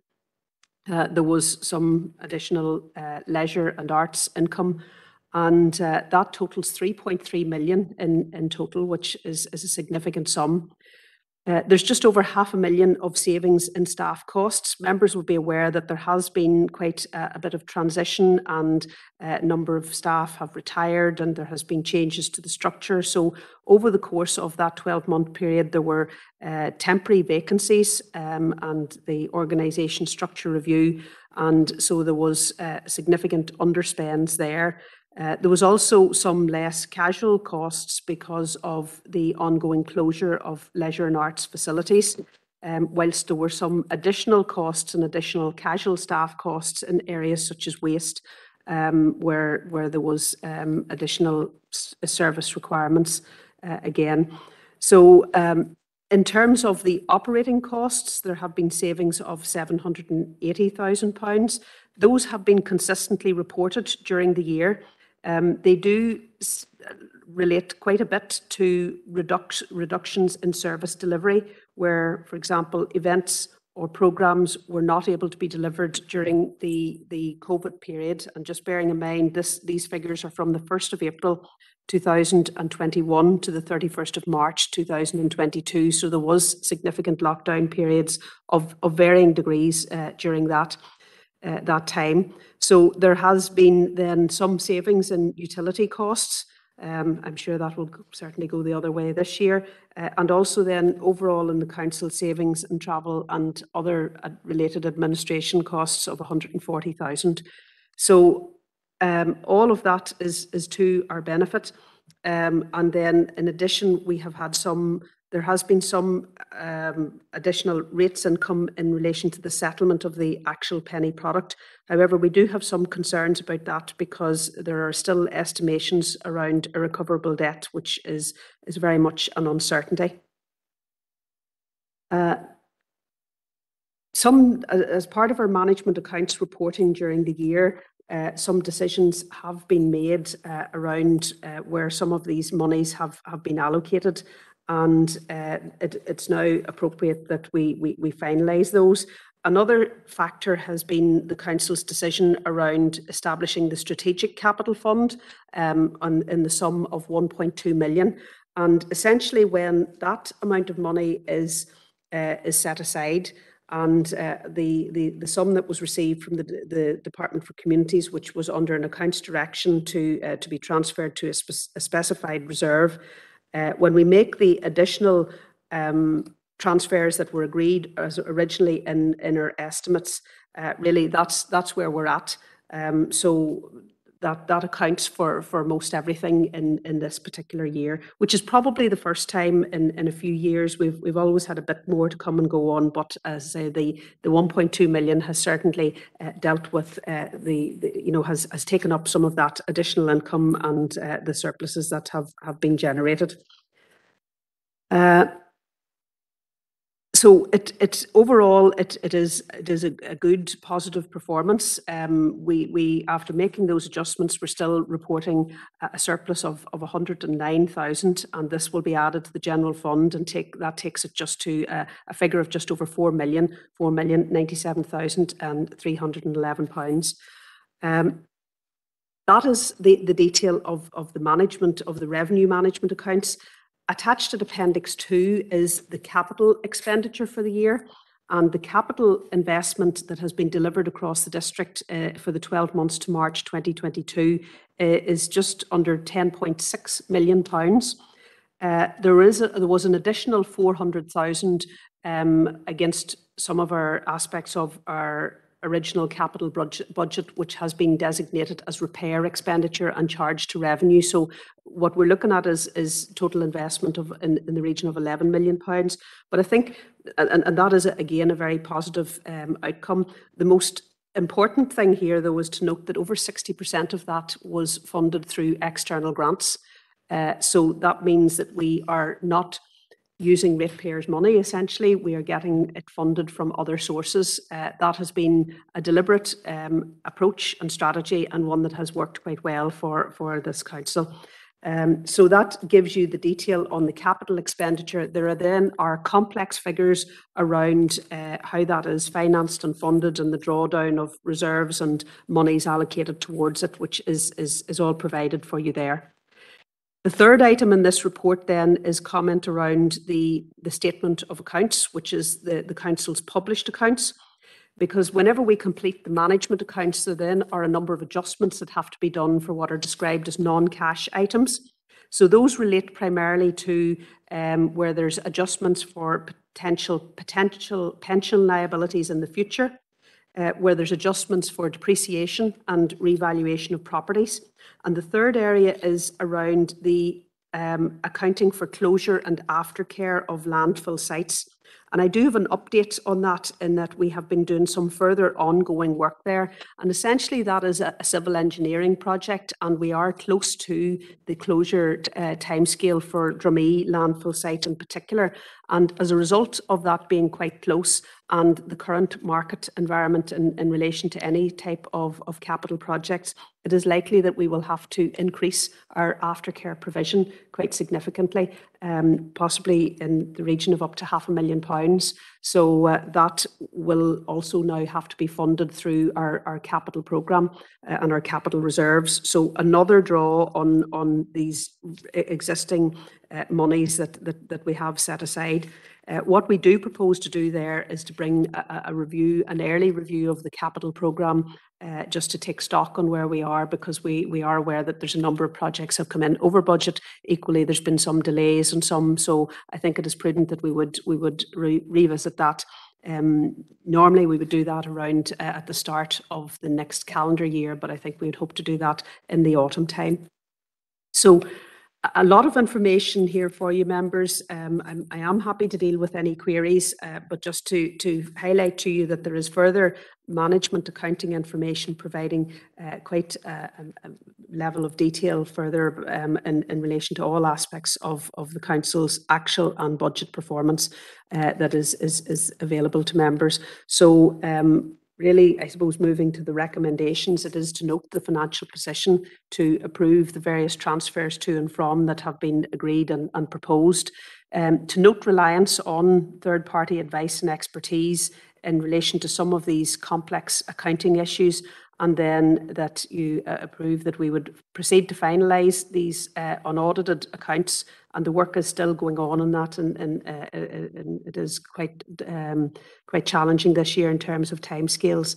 Uh, but those need to be signed by uh, Alison as Chief Financial Officer and submitted to the Department for Communities and also to the Northern Ireland Audit Office on or before the 30th of June. So um, we would provide that information uh, again. It would it would be made available to members at, at, that date, and also to members of the audit panel who have had sight of of this information too. Thank you.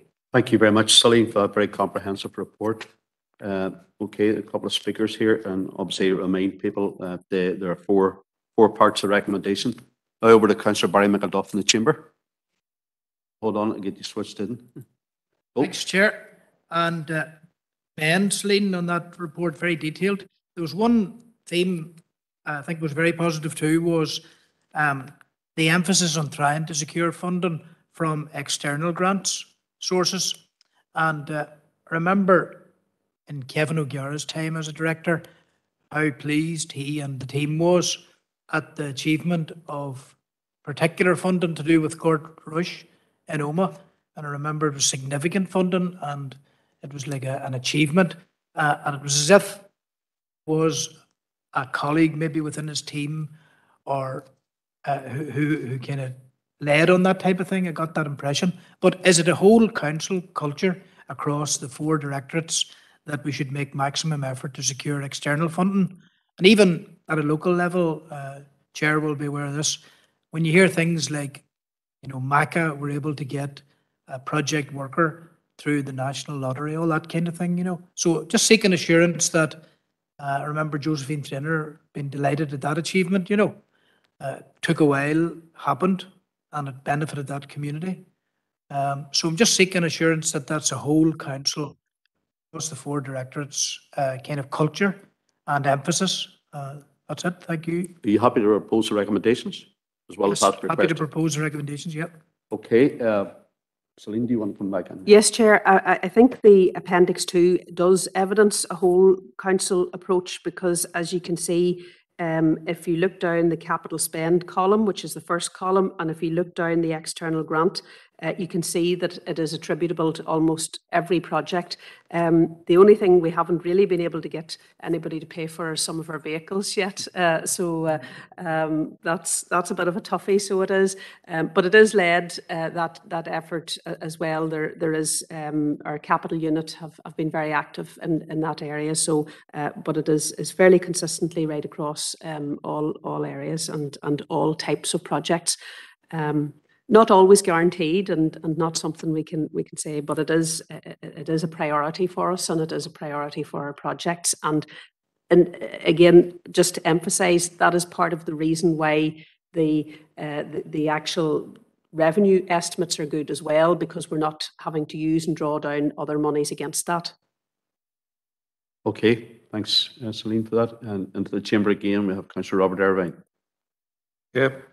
Thank you very much, Chair. Just echo Councillor McElduff's um, comments in regard to the drawdown of funding for capital projects.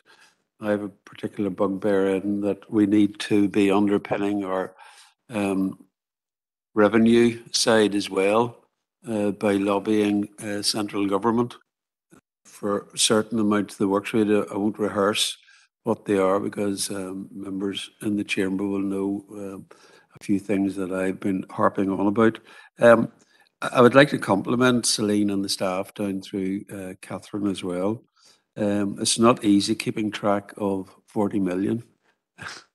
um, and it's good to see that uh, when we have estimates and we chew them over, as we do prior to setting the rate, that there are variances, and thankfully the variances are upwards rather than downwards. Um, because as they say in the financial words, um, investments can go up, but they can go down as well. So we shouldn't always expect um, surpluses coming in, uh, but that's the way of it. It's very good. Uh, I'm glad that we're carrying through on the decision we took for the last couple of years in that in the main, any declared surpluses will be transferred into reserves, particularly in regard to going against capital, because we have a very challenging capital program going forward, and none more so than seeing some of the return costs under the tenders uh, later on. The environment that uh, we are uh, experiencing at the moment is challenging for everybody, but it's challenging for us as a public body. So well done to the team, and, and I'm happy to second the proposals. Thank you. Thank you very much, uh, Councillor Irvine, for your comments and for your seconding. Okay, uh, in the chamber again, we have Councillor Emmett McAleer. Thank you, Chair, and thanks to the Director for the, as you say, the, the comprehensive report. Just looking at uh, some of the figures and, and as has been alluded to, some of the, the savings. Um, looking at waste and recycling there, a saving of over 184,000, leisure, recreational, sport, 614 plus thousand, um, democratic and customer services, 204,000. I'm wondering, eh, has there been any um, allocation or any inclusion of additional pay for some of our council staff, given that there are such um, noticeable savings across the board? Is that something that's normally budgeted for, or um, just being mindful of of ongoing issues at, at present? Is that something that could be maybe alleviated um, with some of the savings that we're seeing here? Thank you, Chair. Okay, thanks for your comments, Councillor McAleer. Celine? Chair, again, um, I suppose just to reiterate, I, I wouldn't necessarily describe all of these as savings. I would say that there has been under delivery of services in a number of areas due to the COVID situation. And that means that the money that the council allocated to spend in those areas wasn't spent.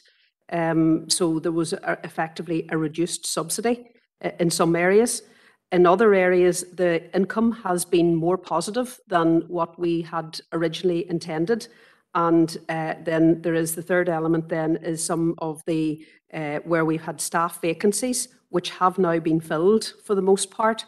So that's not an ongoing um, uh, a saving as such. So it, it really, I, I would hesitate to use the word saving. It, it reflects the picture of how the actual turnout was against the original budget and for many reasons it, it, it, was quite different but we did try to keep it managed um, overall. In connection with with what has been provided for. We have provided in full for um, what has been, what is due, um, including any outstanding holiday pay, any outstanding allowances, and indeed any um, agreed in inflationary um, increases and other increments uh, that, that are due. It's not possible for us to speculate and make any provision over and above that. Um, in terms of, uh, I suppose, if the member's alluding to the, the issue of the industrial dispute, again, that's something that we will have to work through, but we can't make provision in these figures, not least because there's nothing left. We've now sort of allocated where things are going to go to, including the 1.2 million, etc. Um, so that remains an issue and effectively an uncertainty, which I'll, I'll come on to maybe in the next paper as well.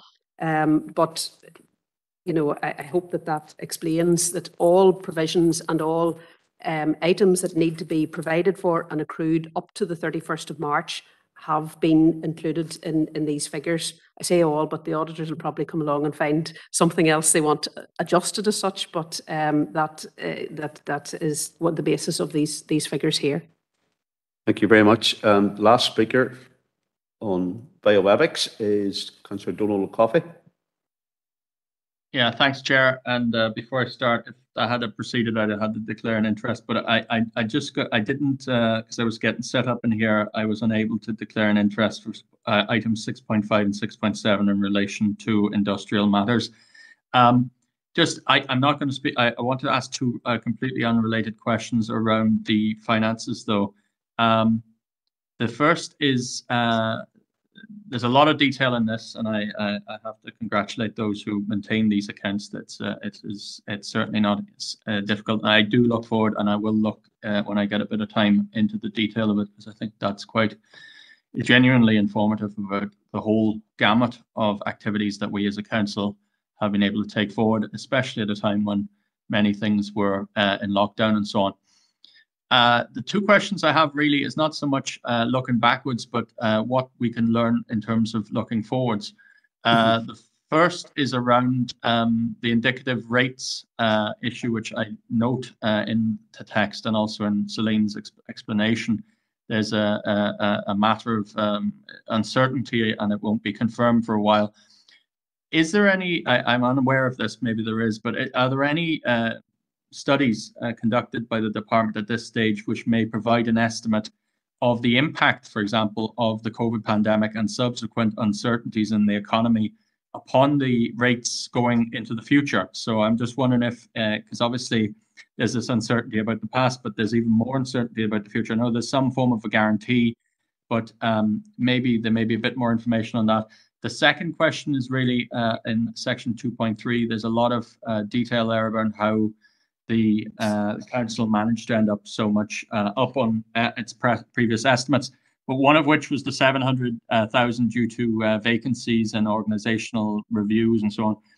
Uh, there has been a lot of discussion, uh, or at least had been a lot of discussion on um, efficiency gains through management um, restructuring and um, genuine efficiency maneuvers. I, I'm just wondering, is there anything, uh, is there like a report likely to come forward on these? Because you can see the scale of what can be achieved, even with transitions and the absence of people from certain posts for a period. But imagine if we actually uh, were able to genuinely achieve uh, efficiencies at the uh, uh, at the highest level, uh, or not the highest, but at, at high enough, high, relatively high levels, uh, I, I, think that this would be uh, quite a dramatic improvement for us. So uh, those two questions. Thank you, Chair. Thank you very much, Commissioner O'Cofaigh. Celine?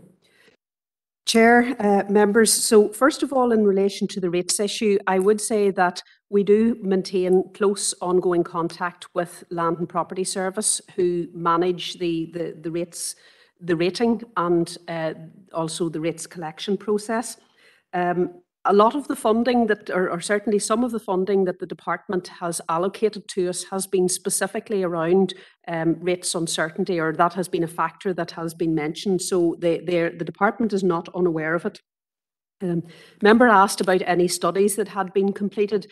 Um, back in 2020, at, at, I suppose not at the outset of the COVID, but about six months into the pandemic situation, there was a study completed um, by the Univer Ulster University Economic Policy Centre. Um, and they had estimated different scenarios ranging up to potentially 4% of, uh, of a reduction. That, however, probably would be out of date now, and they did do some sectoral analysis, but it is something that we could possibly take forward and, and ask to see if there's merit in, in that maybe being updated. The, the difficulty with the rates is that it can be it can even be into years before all of these uncertainties are realised um, for a couple of reasons. Uh, the uh, the appeals process uh, against rates is is quite a protracted um, issue, and uh, members may recall there was Reval 2020, which um, revalued uh, business uh, non-domestic rates at the 1st of April 2020, which was literally at the start of the pandemic period. Now, it's my understanding that there's a further reval proposed, but at, you know that in itself may lead to some you know some adjustment down the line that that we're not not, not clear on. The second issue in relation to domestic rates is where uh, there's non-payment. And uh, again, that hasn't been really um, progressed through courts or, anywhere at this point in time. There's there's a number of delays in the, in, in the system. So um, there there is a slight nervousness and, and, and certainly an uncertainty there. Um, in terms of the issue around um, re- organisational restructuring and potential efficiency gains, it would certainly be the, the, practice that there would be some, uh, there would be a look back and, and there would be a post-project evaluation on that.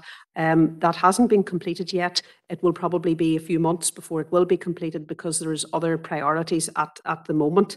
Um, it would be remiss of me to, I suppose, not make members aware that really we did, um, we did over the course of the 21, 22, we had some quite significant gaping vacancies. And, and if you will recall, for a period of time, I covered two directors' roles. So, I mean, it, it wouldn't be necessarily the case that we would be able to just produce those type of savings, um, uh, you know, without very significant impact on services itself. So um, I, I think that is is worth noting. It's not that there's there's any um, you know, there's any staff that are are not required or needed in in, in that sense. We're we're, we're not um, we wouldn't do that just simply. It, it, uh, uh, so I hope that that has addressed the members' queries to some degree.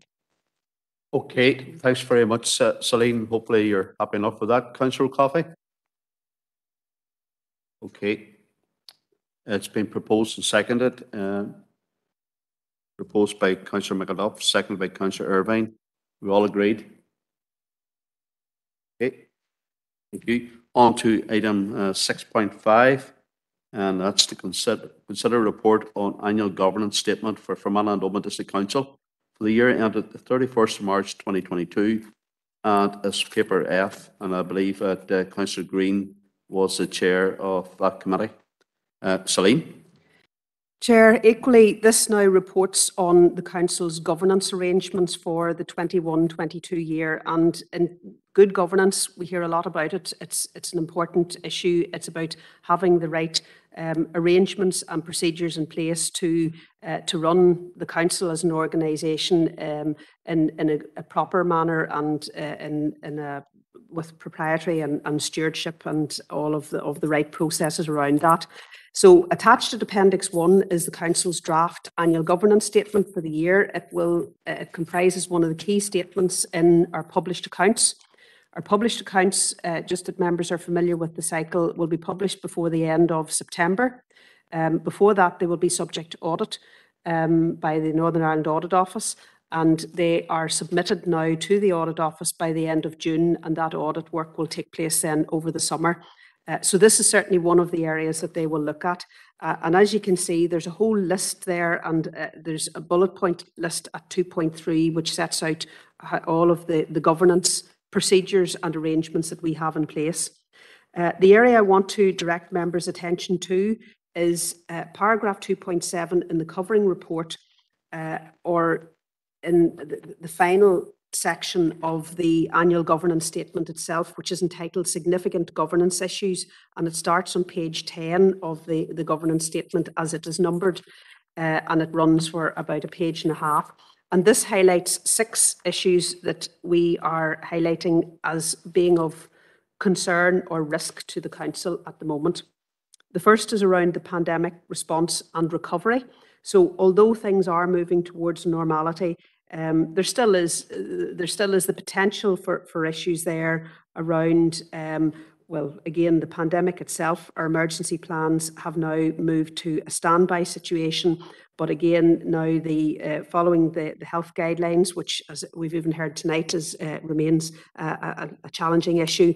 And uh, then all of the financials that we've just touched on there um, in summary, we have received £12.4 million over the last two years of exceptional funding, um, some of which is directly related to loss of income, some of it relates to additional costs that we incurred, some of it is for community revitalisation, some of it um, is for other recovery purposes um, going forward and looking into the future.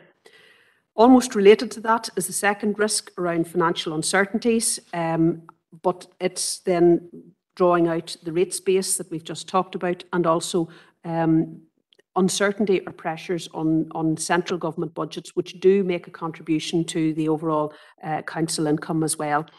We're also referencing there um, the current cost environment, the very uh, the inflationary environment, which uh, is is relevant to the council as well as to um, the district and ratepayers, uh, etc., and all of the factors there that have driven up prices, in particular in relation to energy, capital, um, fuel, materials, and so also some service costs. Um, so it's it's there's there's a lot of of moving pieces there around uh, the finances, but we are working to establish a reserve policy and manage those reserves to uh, to deal with with with those pressures and fluctuations.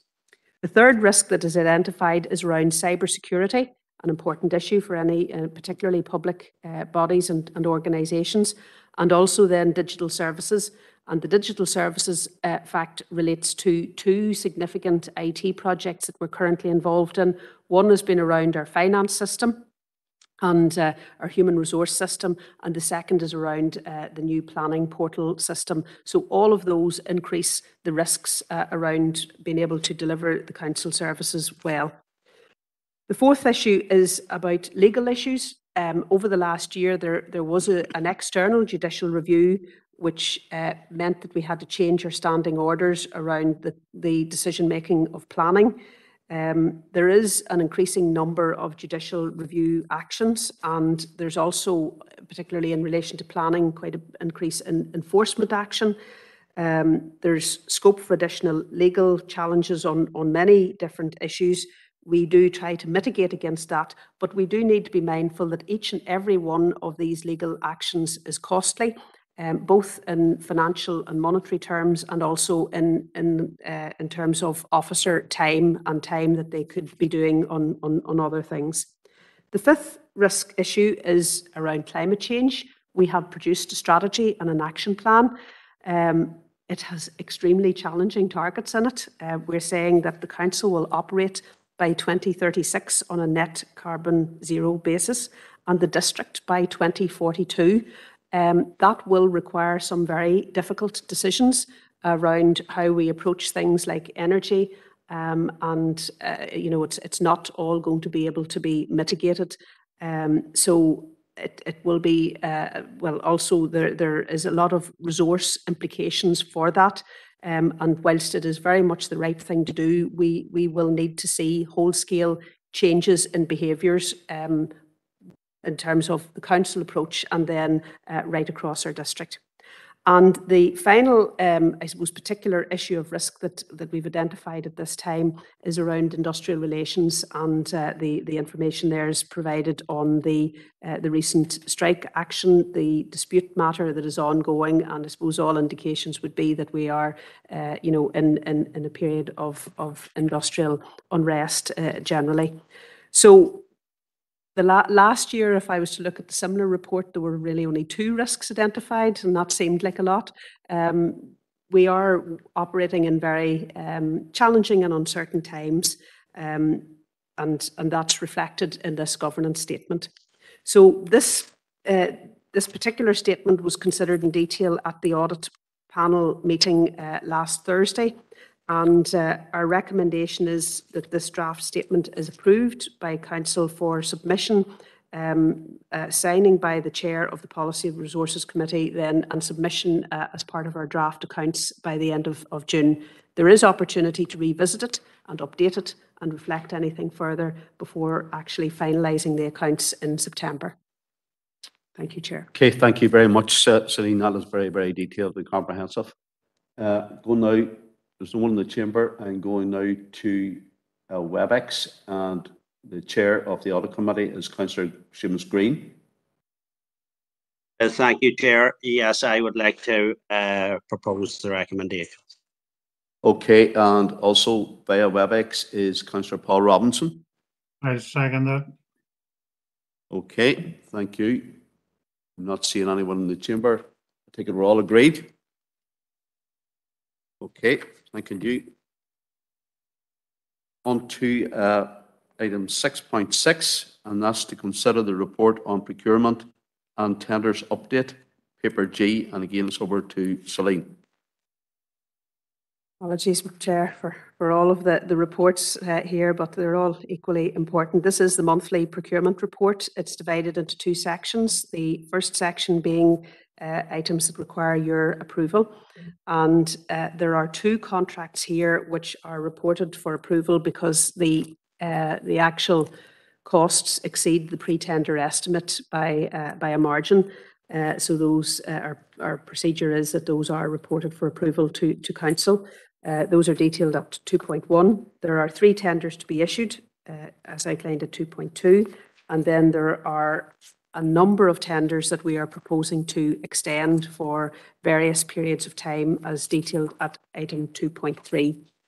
Uh, Section 3 then provides the information on tenders that have been awarded within delegated authority.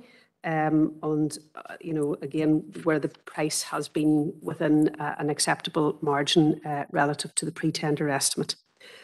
Um, I also must draw your attention then at 3.2.1 that uh, that we are looking at uh, an increase in our electricity tar tariffs in the region of uh, two and a half to three, well, over 250% almost uh, is, is what um, we are facing. But uh, that's going to be updated on a monthly basis um, and has a very significant financial impact again for the council, potentially in the region of between 500 and 700,000, uh, depending on electricity usage. And again, that may be affected by more facilities and buildings open and operating at full capacity now. So um, it is it is a worrying issue. Um, but I did feel that it was important to draw members' attention to, to that position at this point in time. And currently, there are no electricity companies who are prepared to enter into fixed term agreements around this. And, and I suppose, given where the market's at, we don't really want to either. But uh, that is, is just, um, I suppose, to, to advise you on that. Uh, a long list of recommendations at section 9.1 for approval and then at 9.2 for, for noting the information. Okay, thank you very much, Celine. Okay, you- you've, you've all read the uh, recommendations. Um, 9.1 uh, are for approval and uh, 9.2 for noting. I'm going to go to WebEx now, and we have Councillor Donal Coffey. Sorry, Chair. Yeah, um, I'm, I'm, I'm, uh, content to, uh, approve, but I, I wanted to, um, to ask two questions really, because I, had raised this previously. Um, I, I'm personally, I don't know what other councillors like, but I'm not too interested in who actually is the tenderers in these documents. I'm much more interested in the, uh, the pre-tender estimate against the, uh, the, uh, the, the actual quote to come in and under 2.1.2, the pre-tender estimate for grass cutting, which is always an issue, I think, of uh, some concern because I think we should have this done in-house. Uh, the pre-tender uh, estimate was uh, 80,000 pound, but I'm just wondering, there was no quote there because usually there is a figure for what it came in at. So I was just wondering about that. The second one is just a point of uh, to, to clarify the under the 3.1.2 collection, processing and recycling of street cleansing the collection aspect of that, that doesn't displace any activity currently conducted by uh, our, our own workers. I, I, I take, I just wanted to clarify that. So that's the two questions I have. Thank you, Chair. Okay, and you're happy to propose the recommendations in their entirety? Yes. Uh, just pen, pending the answer to the first one. Thank you, Chair. Right, okay. Celine? Yes, Chair. Um, I'm not sure why that information specifically isn't included, but my understanding is the figure is in the region of 100,000 as opposed to the 80,000 pre-tender estimate, which is um, a, a 25% um, uplift. And uh, uh, related to inquiries around that um, is that it, it's really the fuel issue. Um, all of those activities do involve fuel. Um, this augments the, the council's provision in this area and on the basis of our current operations, uh, it is needed. Uh, we don't have the capacity and the, arrangements in place to do that, but I understand that there is um, it is an area that's under review, and I think there will be further reports or discussion with members on the, the issue of grass cutting generally. Um, in connection with the second issue, which was um, no, it was more, yes, sorry, the collection on 3.1.2, that would be collection from our, our um, transfer stations depots. So it's not actually collecting it, but it's, it's more the, the whole transportation of it. So no, the answer, it doesn't displace anything in terms of, of current working arrangements. Thank you, Celine. Happy enough, Councillor Coffey? Uh, Chair, I'm happy with the second reply. Uh, have to say the first reply, I'm I'm definitely not happy with. Chair, uh, I I do think we as a council, from memory, cut a phenomenal amount of grass that we do not have any responsibility for. That uh, is uh, nothing really. It's not part of our statutory duty. The fact that we have to outsource this at a cost of a hundred thousand, it's usually a hundred thousand. I thought getting it down to 80,000 uh, was uh, uh, an advance.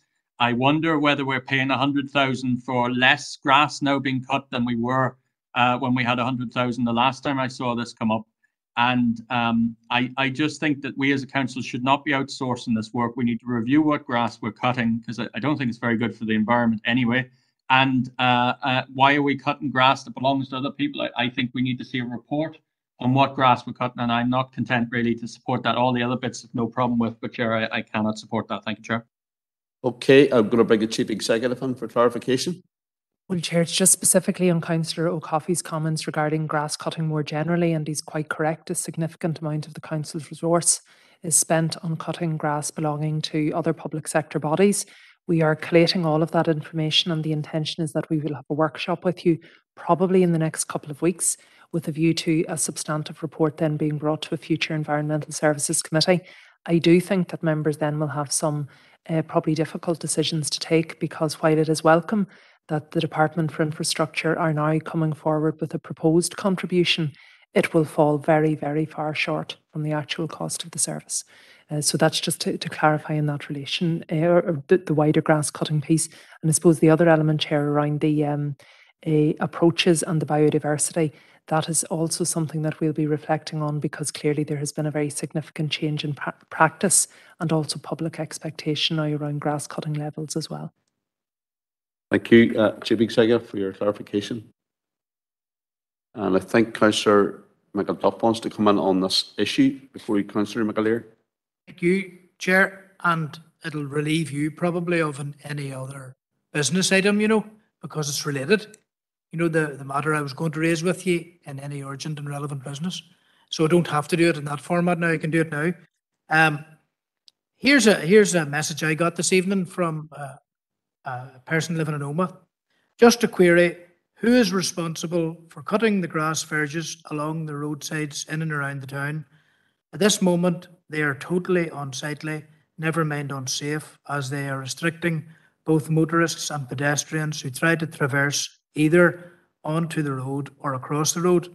Example, the Gortin Road area, BT Park, Gortwell areas, but it's throughout the whole town and district. You know, I think we all agree that. And uh, do you want me to send photographs? Sent me series of photographs where it's extremely dangerous, exiting junctions uh, variously. And now we'll all we'll all have local examples in mind. So suppose uh, I was of a mind in a, any other business to ask the council to write to DFI roads uh, to ask them to do their duty in respect of uh, making junctions safer and grass verges safer that are under their control or remit. Um, so I wanted to make that proposal, Chair, and, and I thought this was a good relevant point to make it. Thank you. Thank you, Councillor McElduff. There'll be a seconder for that proposal from Councillor McElduff. Chamber. Uh, Councillor Irvine, second by Councillor Irvine. I take it, well, there'll be no disagreement there. I mean, yeah. What, what, what you're saying, I think uh, we're all contacted by that uh, on a daily Chair. basis. Uh, hold on, Councillor Green, we have a- another councillor in the chamber. And uh, I'll bring in Councillor Emmett McAleer. Thank you, Chair. Yeah, um, I think that's a, a sensible enough proposal in terms of uh, sightlines being impacted. That that is a serious concern. I, I'm not sure whose remit it falls under because there's seemingly areas that are cut and recut whenever they're not necessarily needed to be cut, and there's other areas let uh, grow uh, when it is causing a bit of an obstruction, and obviously safety of both uh, pedestrians and motorists is something that we have to be very mindful of. Um, I, I do think it shouldn't be a blanket thing though, where there are areas that it is suitable to let the grass grow. That's something that we should be doing. Um, and that is something that the council has uh, committed to. I think as well, uh, th- again, like this, as Councillor Coffey says, this is something that comes up annually, this massive fee for, for grass cutting. And, and I'm glad to see that it is now being addressed and there is going to be a report coming back because that's something that, that is of huge concern and not least given the times that we're living in. And, and, and I'm glad as well just that the director noted uh, point one. I think I, when I was coming in, I was going to say it's a, a three hundred percent raise if you're looking at the, the low, the minimal and the, the maximum values being charged there. Again, it, it triggers the question, what, what is the purpose or what is the role of the utility regulator here? Because it's, Electric Ireland aren't the only party that are guilty of this.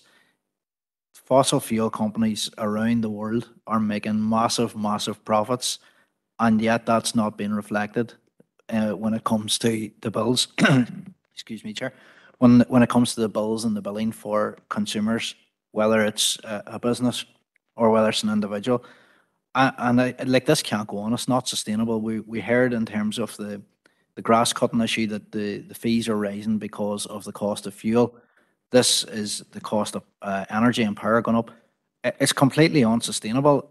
Like I, I'm not sure what we can do as a, as a local council, but I think we do need to be asking questions of those in uh, a position of power.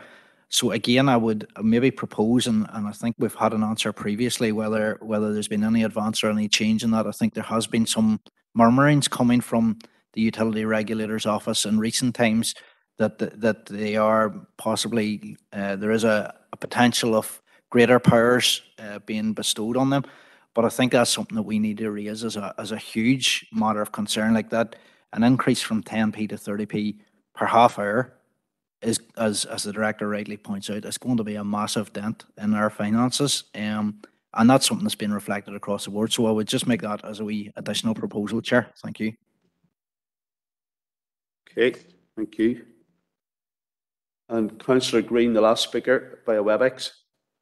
Uh, thank you, Chair. And uh, it's just in relation to what uh, Councillor McElduff uh, raised there. Uh, I, I would have great concern about uh, sightlines on junctions. But what I, I would like to raise, and maybe it could be added into the, the letter or, or a new letter sent uh, to DFI Road Service, is the standard of service that they're hiring in to cut the grass uh, uh, my own local area was done uh, um, today. I've done. And I have uh, uh, cut and I have uh, had uh, numerous complaints all day about it. It's actually absolutely scandalous. And this is a service that road service are uh, paying, uh, uh, are outsourcing. Uh, and no, no business, no farmer would ever pay anybody for the on-standard of work. It's absolutely shocking. There's lumps of dirt pulled, and trailed out onto the road. The parts of the ditches beat away. There's other parts of the longlands that isn't even touched. Shocking stuff. And I, I, I would like to possibly it takes away from Barry's, but I, I would like then to propose that there's a letter also sent to road service in Fermanagh, Omagh area or the western area, asking just how they uh, uh, police uh, these people that come out and uh, that they're hiring to come in to do this job because it's not been done. If the on what's been paid for and nobody's holding holding anyone to account, it's an absolute scandal. So I would propose that as well, please, uh, if uh, the council would would support me in it. Councillor Green, just to make you aware, I've already spoke to Councillor McElduff on his proposal. He's prepared to add yours into it. So. Thanks very much. That's That's great. been- Thanks, Barry. That's seconded by Councillor Robert Irvine, and that's generally agreed. Uh, there was one other proposal there by Councillor McAleer to- as an add-on. Uh, we haven't got a seconder for that, but I'm sure we can get one. Councillor McElduff, we'll just bring you on here. Right, Chair. I was just going to mention, uh, I'm not sure if Councillor Anne Marie Donnelly is in the queue there to speak. No, No. no. Um, she had spoken to me yesterday about similar concerns that I've raised about the BD Park Courtwell area, and she mentioned specifically Rosemary Road and Botira as uh, local residents who, who want that attention as well, you know, to the grass and to weeds and that they're overgrown and dangerous. So if that could be included, I'd be grateful. Thank you. Okay, thank you. Uh, you prepared a second Councillor McAleer's proposal? Okay, and I'll, I'll take it that's agreed as well. Right, we have, uh, if you can lower your hand, Councillor Green. Thank you. We've still got Councillor Catherine Kelly on WebEx, and this is the- definitely the last speaker in this one. Uh, yes, uh, thanks for letting me in, Chair. Um, I, I have been notified also, so I'm wondering if Barry would be, would consider adding to his letter. No, uh, sorry. Archie Ogan Park, Sorry. Archie Park and Carrick Sorry- Moore. Sorry, uh, sorry, Councillor Kelly, we can't add any more at this stage. Uh, I think it's, you know, if we look at it all across the district, it's the same issues. And, uh, we're not gonna start, uh, sort of segmenting the area up. So if you don't mind, uh, we'll, go no further with this one at this stage. Your comments are noted. Thank you. Okay, uh, that has all been agreed, uh, except we, we do have to go back because, uh, Councillor O'Cofaigh, uh, has withdrawn his proposal. So this is for the recommendation as a whole. Uh, can we have a proposer and seconder for the recommendation as a whole? Councillor Elliott. Seconded by Councillor Robert Irvine. And those other comments have been noted. Thank you.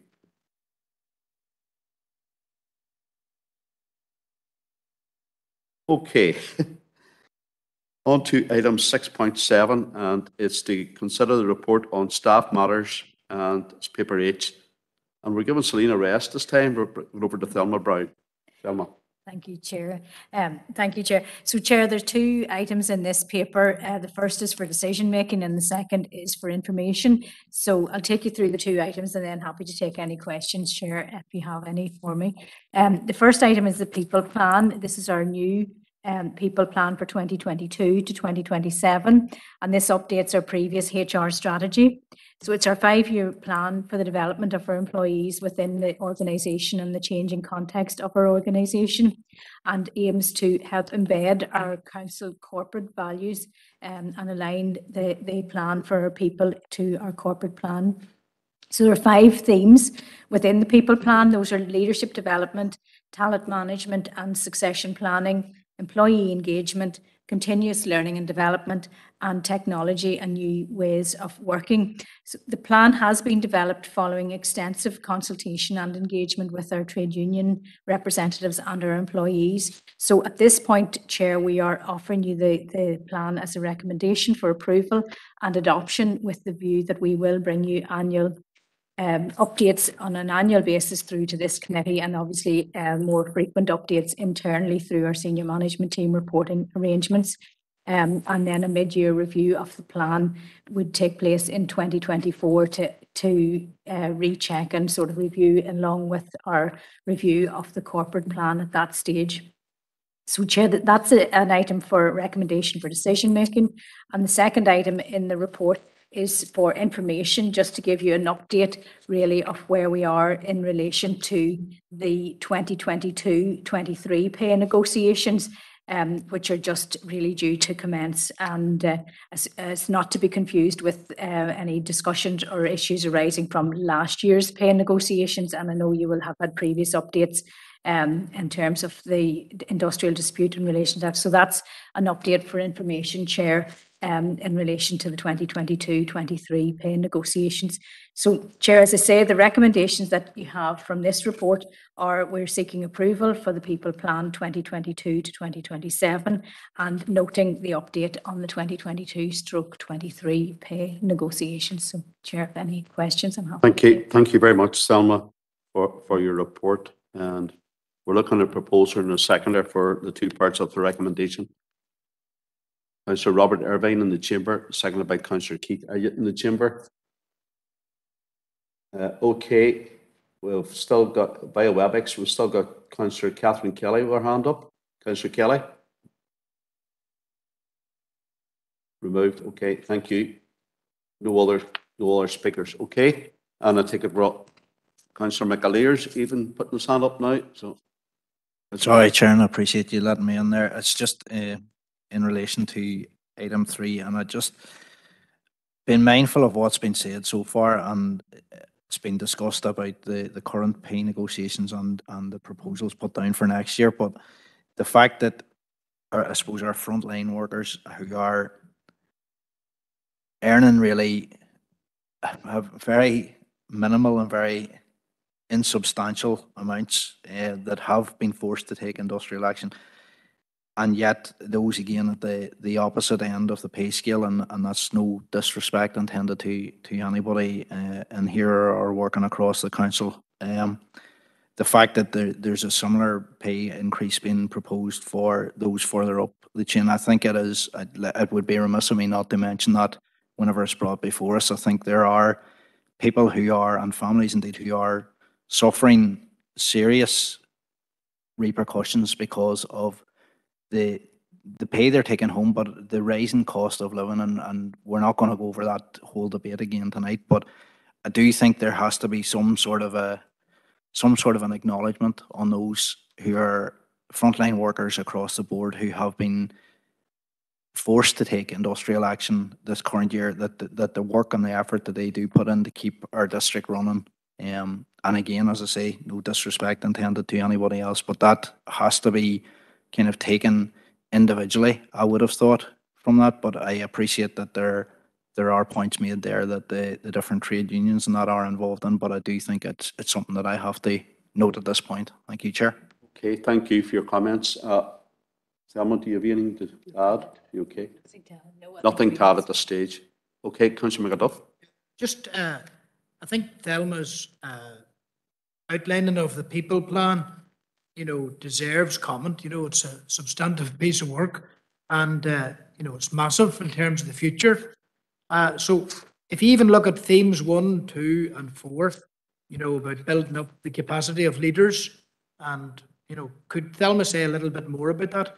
You know, about various programs that are being undertaken in the spirit of leadership development, talent, management, and continuous learning and development, maybe a special emphasis on leadership development. Thank you. Okay, Councillor McElduff, thank you. Uh, Thelma? Thank you, Chair. Thank you, Councillor. Um, I, I suppose just to remind you, we are in the process at this point of rolling out a full leadership development programme uh, for leaders at all level with, levels within the organisation. So I suppose in the document there on page 10 and 11, um, you have a wee bit more information and detail on that. Um, this is aligned to our implementation of the revised organisational structure, and it was something that we committed to at the time when we were uh, review in the organisation structure that we would support this um, structural review with the implementation of a leadership development programme. So that programme is underway. It consists of a modular programme called Leaders Code and that's been rolled out to leaders at all levels within the organisation and that is supplemented with uh, various other leadership development activities, um, including uh, things like our leadership corner, um, which is a reading corner uh, for leaders, a leadership cafe event, and a range of other um, uh, courses and programs aimed at developing leaders, as I say, throughout the whole organisation. The second theme on talent management and succession planning, this really aims about uh, uh, implementing measures and steps to actually ensure that we are growing our own talent and harnessing the people that we have within the organisation, ensuring they have opportunities to develop and ensure they have a long-term career with the council. Um, so that is a range of measures and we're working through regional programmes there as well um, with the Local Government Staff Commission leading on a piece and I think we'll have some information for you actually at next month's uh, committee meeting just to share with you in relation to some of the regional work that's going on. And then I think the final theme you asked me was around continuous learning and development. And again, that's about the rollout of our corporate learning and development program that, you know, we not only train our employees to do the job that they're currently in, but we encourage ongoing learning and development to enhance their ability in their current role and obviously um, enhance their ability hopefully in future roles within the council. Thank you. Thank you, uh, Councillor, and thank you, Thelma. Okay, and can we have, uh, proposed and seconded, proposed by Councillor Robert Irvine and seconded by Councillor Keith Elliott, and we're all agreed. Get rid of that one. On now to item six point eight. Thank you, Thelma, for your time. And it's uh, to consider a report of the Director of Corporate Services and Governance and his paper A, and so over to Celine. Thank you, Chair. Just at the outset, if I could add my thanks to Thelma, this is a substantial piece of work, but also to Catherine and the team for, for the work earlier. She had hoped to be with us this evening, but unfortunately um, wasn't able to, to be here to present those papers. And even if we go right back to the start, to, um, to Louise and, and her team who have been working through the consultations, policy matters, uh, and uh, what you see there. And, you know, there, there is, uh, there's, there's a lot of heavy lifting going on at the moment, so please bear with us if there are some things that, you know, we have to reprioritise in that uh, to get some of our statutory work done and uh, as well as these developmental issues and that as well. So thank you um, for, for all of their support and work and I just want to say that generally. I have uh, two, two items in this report and I have a third uh, verbal item just to, uh, to mention to you. The first one is for decision making and it is um, a proposal that we've received from Drumquin Healthy Living Partnership. Um, members may recall they participated in a village renewal scheme project which created a community gym. That gym sits alongside council property where there are pitches and uh, uh, there, there is a proposal to provide a walkway around the pitch. Um, this is something I think that the council would be interested to, in, in doing in, in, in the long term, but this proposal would expedite it. Um, it's, it's a little bit novel uh, in that uh, it is really seeking an offset of an existing liability in lieu of uh, the cost of, of getting uh, this done. And uh, we have tested it, first of all, through our capital, our internal capital program board, um, who are in agreement that uh, it, it you know, it is it is a good and valid project that would be something that would be taken forward um, at at some point. And also, we have done an internal independent uh, cost assessment, and we are content that the proposal does offer uh, good value for money um, aside from even what the, the challenges of um, of current procurement and that. So, uh, as I say, it's it's it's not normally the way in which capital works are progressed or delivered by the council, but it does demonstrate um, an empowered community uh, effort, which is something that we we would want to support and encourage. And the uh, recommendation is that we would take this forward uh, by way of a legal agreement uh, that would that would cover all of the, the relevant issues, including um, future upkeep and, and maintenance, etc. as well. Uh, the second item on this report is around the full fibre NI project, and it's really informational. Just to, to tell you, our IT team have been providing support to this project, which uh, um, is it aims to connect key public buildings and businesses and we're benefiting to the tune of 76 locations across the district uh, that will be connected with this high-speed um, full fibre network. It is anticipated then that that that that that network will be available for other businesses and local areas to uh, to, to access. But it does also mean then that we need to refresh and update our, our own Wi-Fi provision, including the connections between the Grange, the Town Hall, uh, and then the further um, public Wi-Fi facilities. And I know this is something that we'd previously discussed and, and hadn't really reached a satisfactory conclusion, but we're, we're pleased that this full fibre network project will uh, now offer much improved public Wi-Fi facilities in, in many of our, our buildings. Uh, and also then it's, it's applicable to some aspects of CCTV as, TV as well. If you're interested in the project, there's a link there to um, a, a, promotional video, uh, which is available on YouTube. It's been prepared by the UK Digi Department of Digital Culture, Media and Sport. And it focuses on the Marble Arch Caves and how it has um, benefited from this project. So it, it's a collaborative project being operated um, through a number of councils and the procurement has been led by Armagh Banbridge Craigavon District Council. So we'll then use that framework for future uh, Wi-Fi costs and, and, and provision. Uh, so that is, is information on, on that important project. Uh, the, the final item, which is not detailed on this report, is just to make members aware that the information in relation to council's allowances under the scheme of allowances, um, which has now been collated as part of the year-end accounts process for 21-22, um, that is, there's again a requirement that that is, is made publicly available. So um, it provides information on all allowances paid to councillors during the 21-22 year. I will um, circulate it to members, but just to advise you that it will be published on the council website before the end of the month. So that is again for information. Okay, thank you very much, Celine. So recommendations there is at 9.1 to approve the development of a legal agreement with Drumquin Healthy Living Partnership to facilitate a capital project to provide a pathway around the council's property at 19 Omagh Road, Drumquin, and, and in lieu of payment, waiving the final sum due under an existing arrangement in respect of match funding for a village renewal project completed in 2020. And secondly, then to note the update on the full fibre um, project and associated enhancements to council Wi-Fi facilities, and also then to note the publication of the 2021 scheme of allowances uh, made during the year. Thank you very much, Celine. Okay, uh, we have no speakers in the chamber. We're going out to uh, Councillor Mary Garrity via WebEx.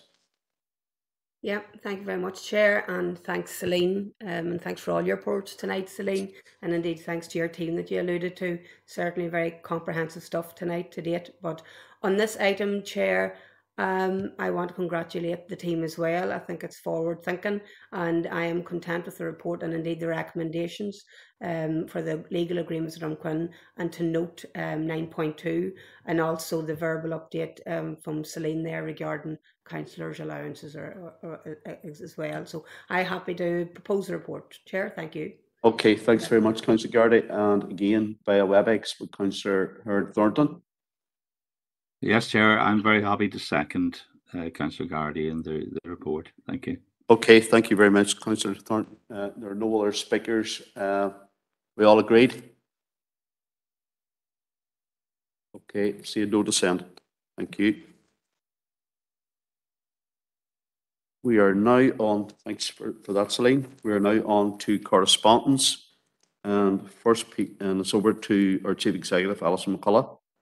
7.1. Yep, th- thank you, Chair. Chair, this letter is a response from the Minister uh, of Justice in relation to the Council's previous representations regarding uh, our request that the current legislation is amended so to ensure that PSNI costs associated with escorting explosives uh, would be met by uh, the relevant companies as opposed to the public purse. So the Minister has referenced the PSNI strategic review, has again reiterated the operational responsibility. But I suppose it's interesting that the final paragraph also advises that this is a reserved matter uh, under the Northern Ireland Act, and therefore any legislative changes would be a matter for the Secretary of State. Um, uh, and that, to the best of my recollection, Chair, is not someone to whom we've made representations on this subject. Okay, thank you, Alison, for that. And I'll advise all that this uh, letter is for noting, first of all. Can we propose and seconder for noting? Councillor Robert Irvine, seconded by Councillor Keith Elliott for noting. I'm assuming we're all agreed there. Uh, we have three councillors wishing to speak on the matter. Uh, first of all is Councillor Emmett McAleer by the, in the chamber. Thank you, Chair. Yeah, and thanks to the Chief Executive for, for clarifying a couple of matters there. Yeah, um, I, again, happy enough to note it, but I, I do I would like to make a further proposal um, that we do actually go back in the first instance to uh, Naomi Long just thanking her initially for the letter, which I think does add a wee bit of information that, that we hadn't previously been made aware of um, in relation to the role of the Secretary of State. But I, I would have a query over what has been done to date, and I would like the the letter to address that and just to, to ask the question uh, of of the Justice Minister has she established who made the decision to change the established practice of billing the gold mining companies, which was the practice up until very recently? And also what consultation took place and how were the huge financial implications for the budget costed and approved? So any uh, additional clarification or information on that would be much appreciated. And secondly, as the, the Chief Executive quite rightly points out, we haven't as yet made representation to the Secretary of State now, I'm aware, as, as Minister Long notes in her letter, that we're still waiting for this uh, review. I think it was originally to be with us in April time, and uh, we're still waiting on it. But that we do contact the the Secretary of State, and again, put it put it to him that this is something that those corporate organisations who are intent on coming in here ripping up our resources and polluting our lands, that they should be forced to pay for this and not the public purse.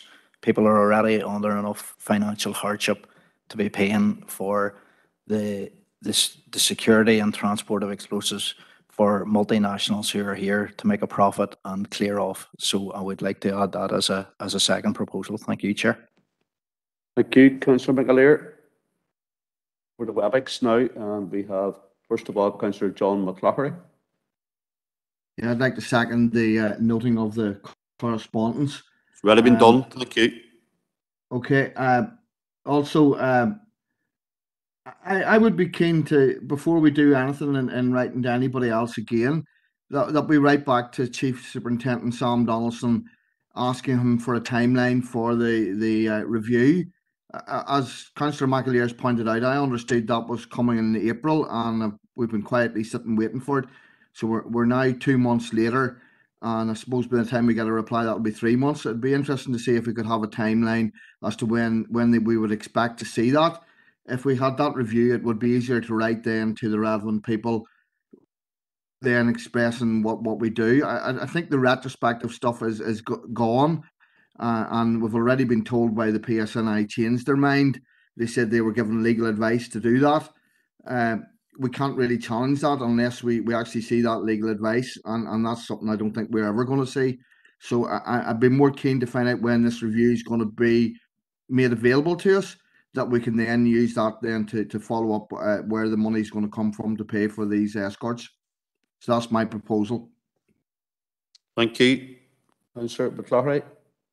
Now, And, and the chamber is Councillor Robert Irvine. Uh, thank you, Chair. Happy to second Councillor McClaughry's proposal. Okay.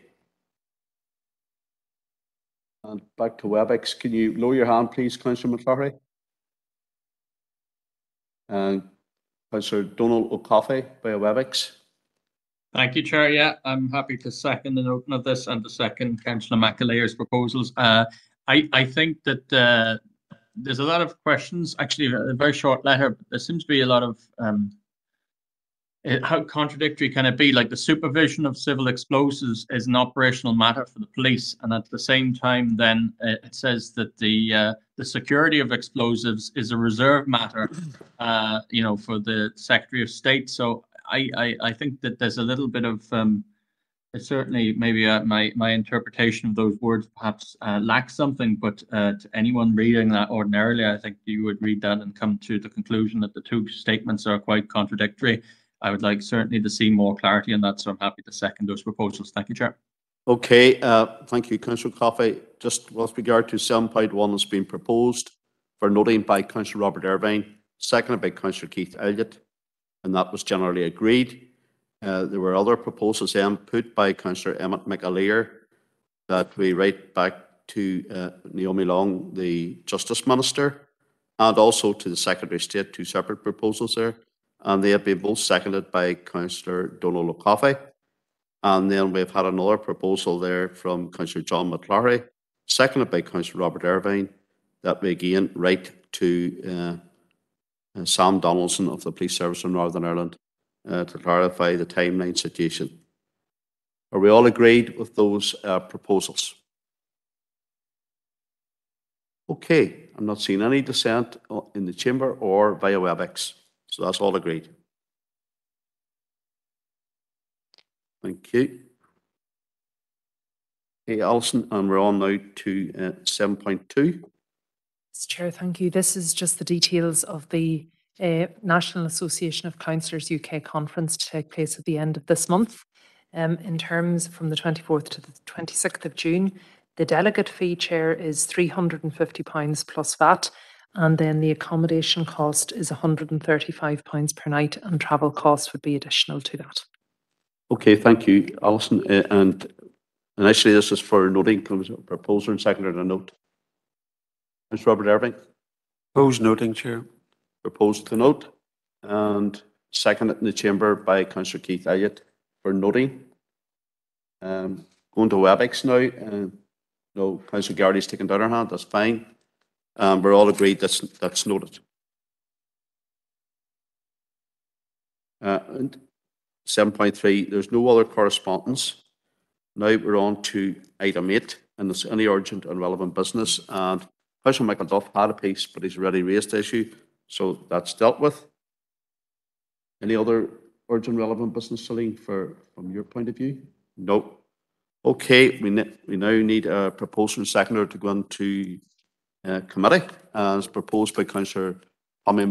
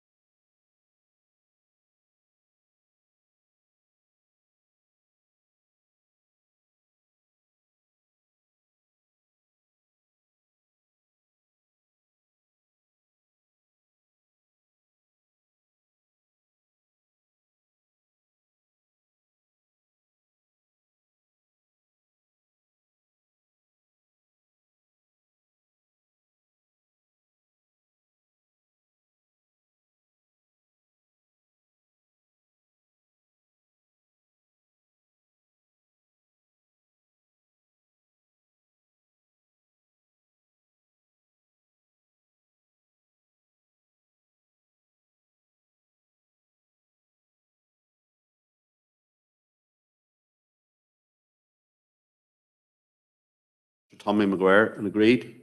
Okay, Lord.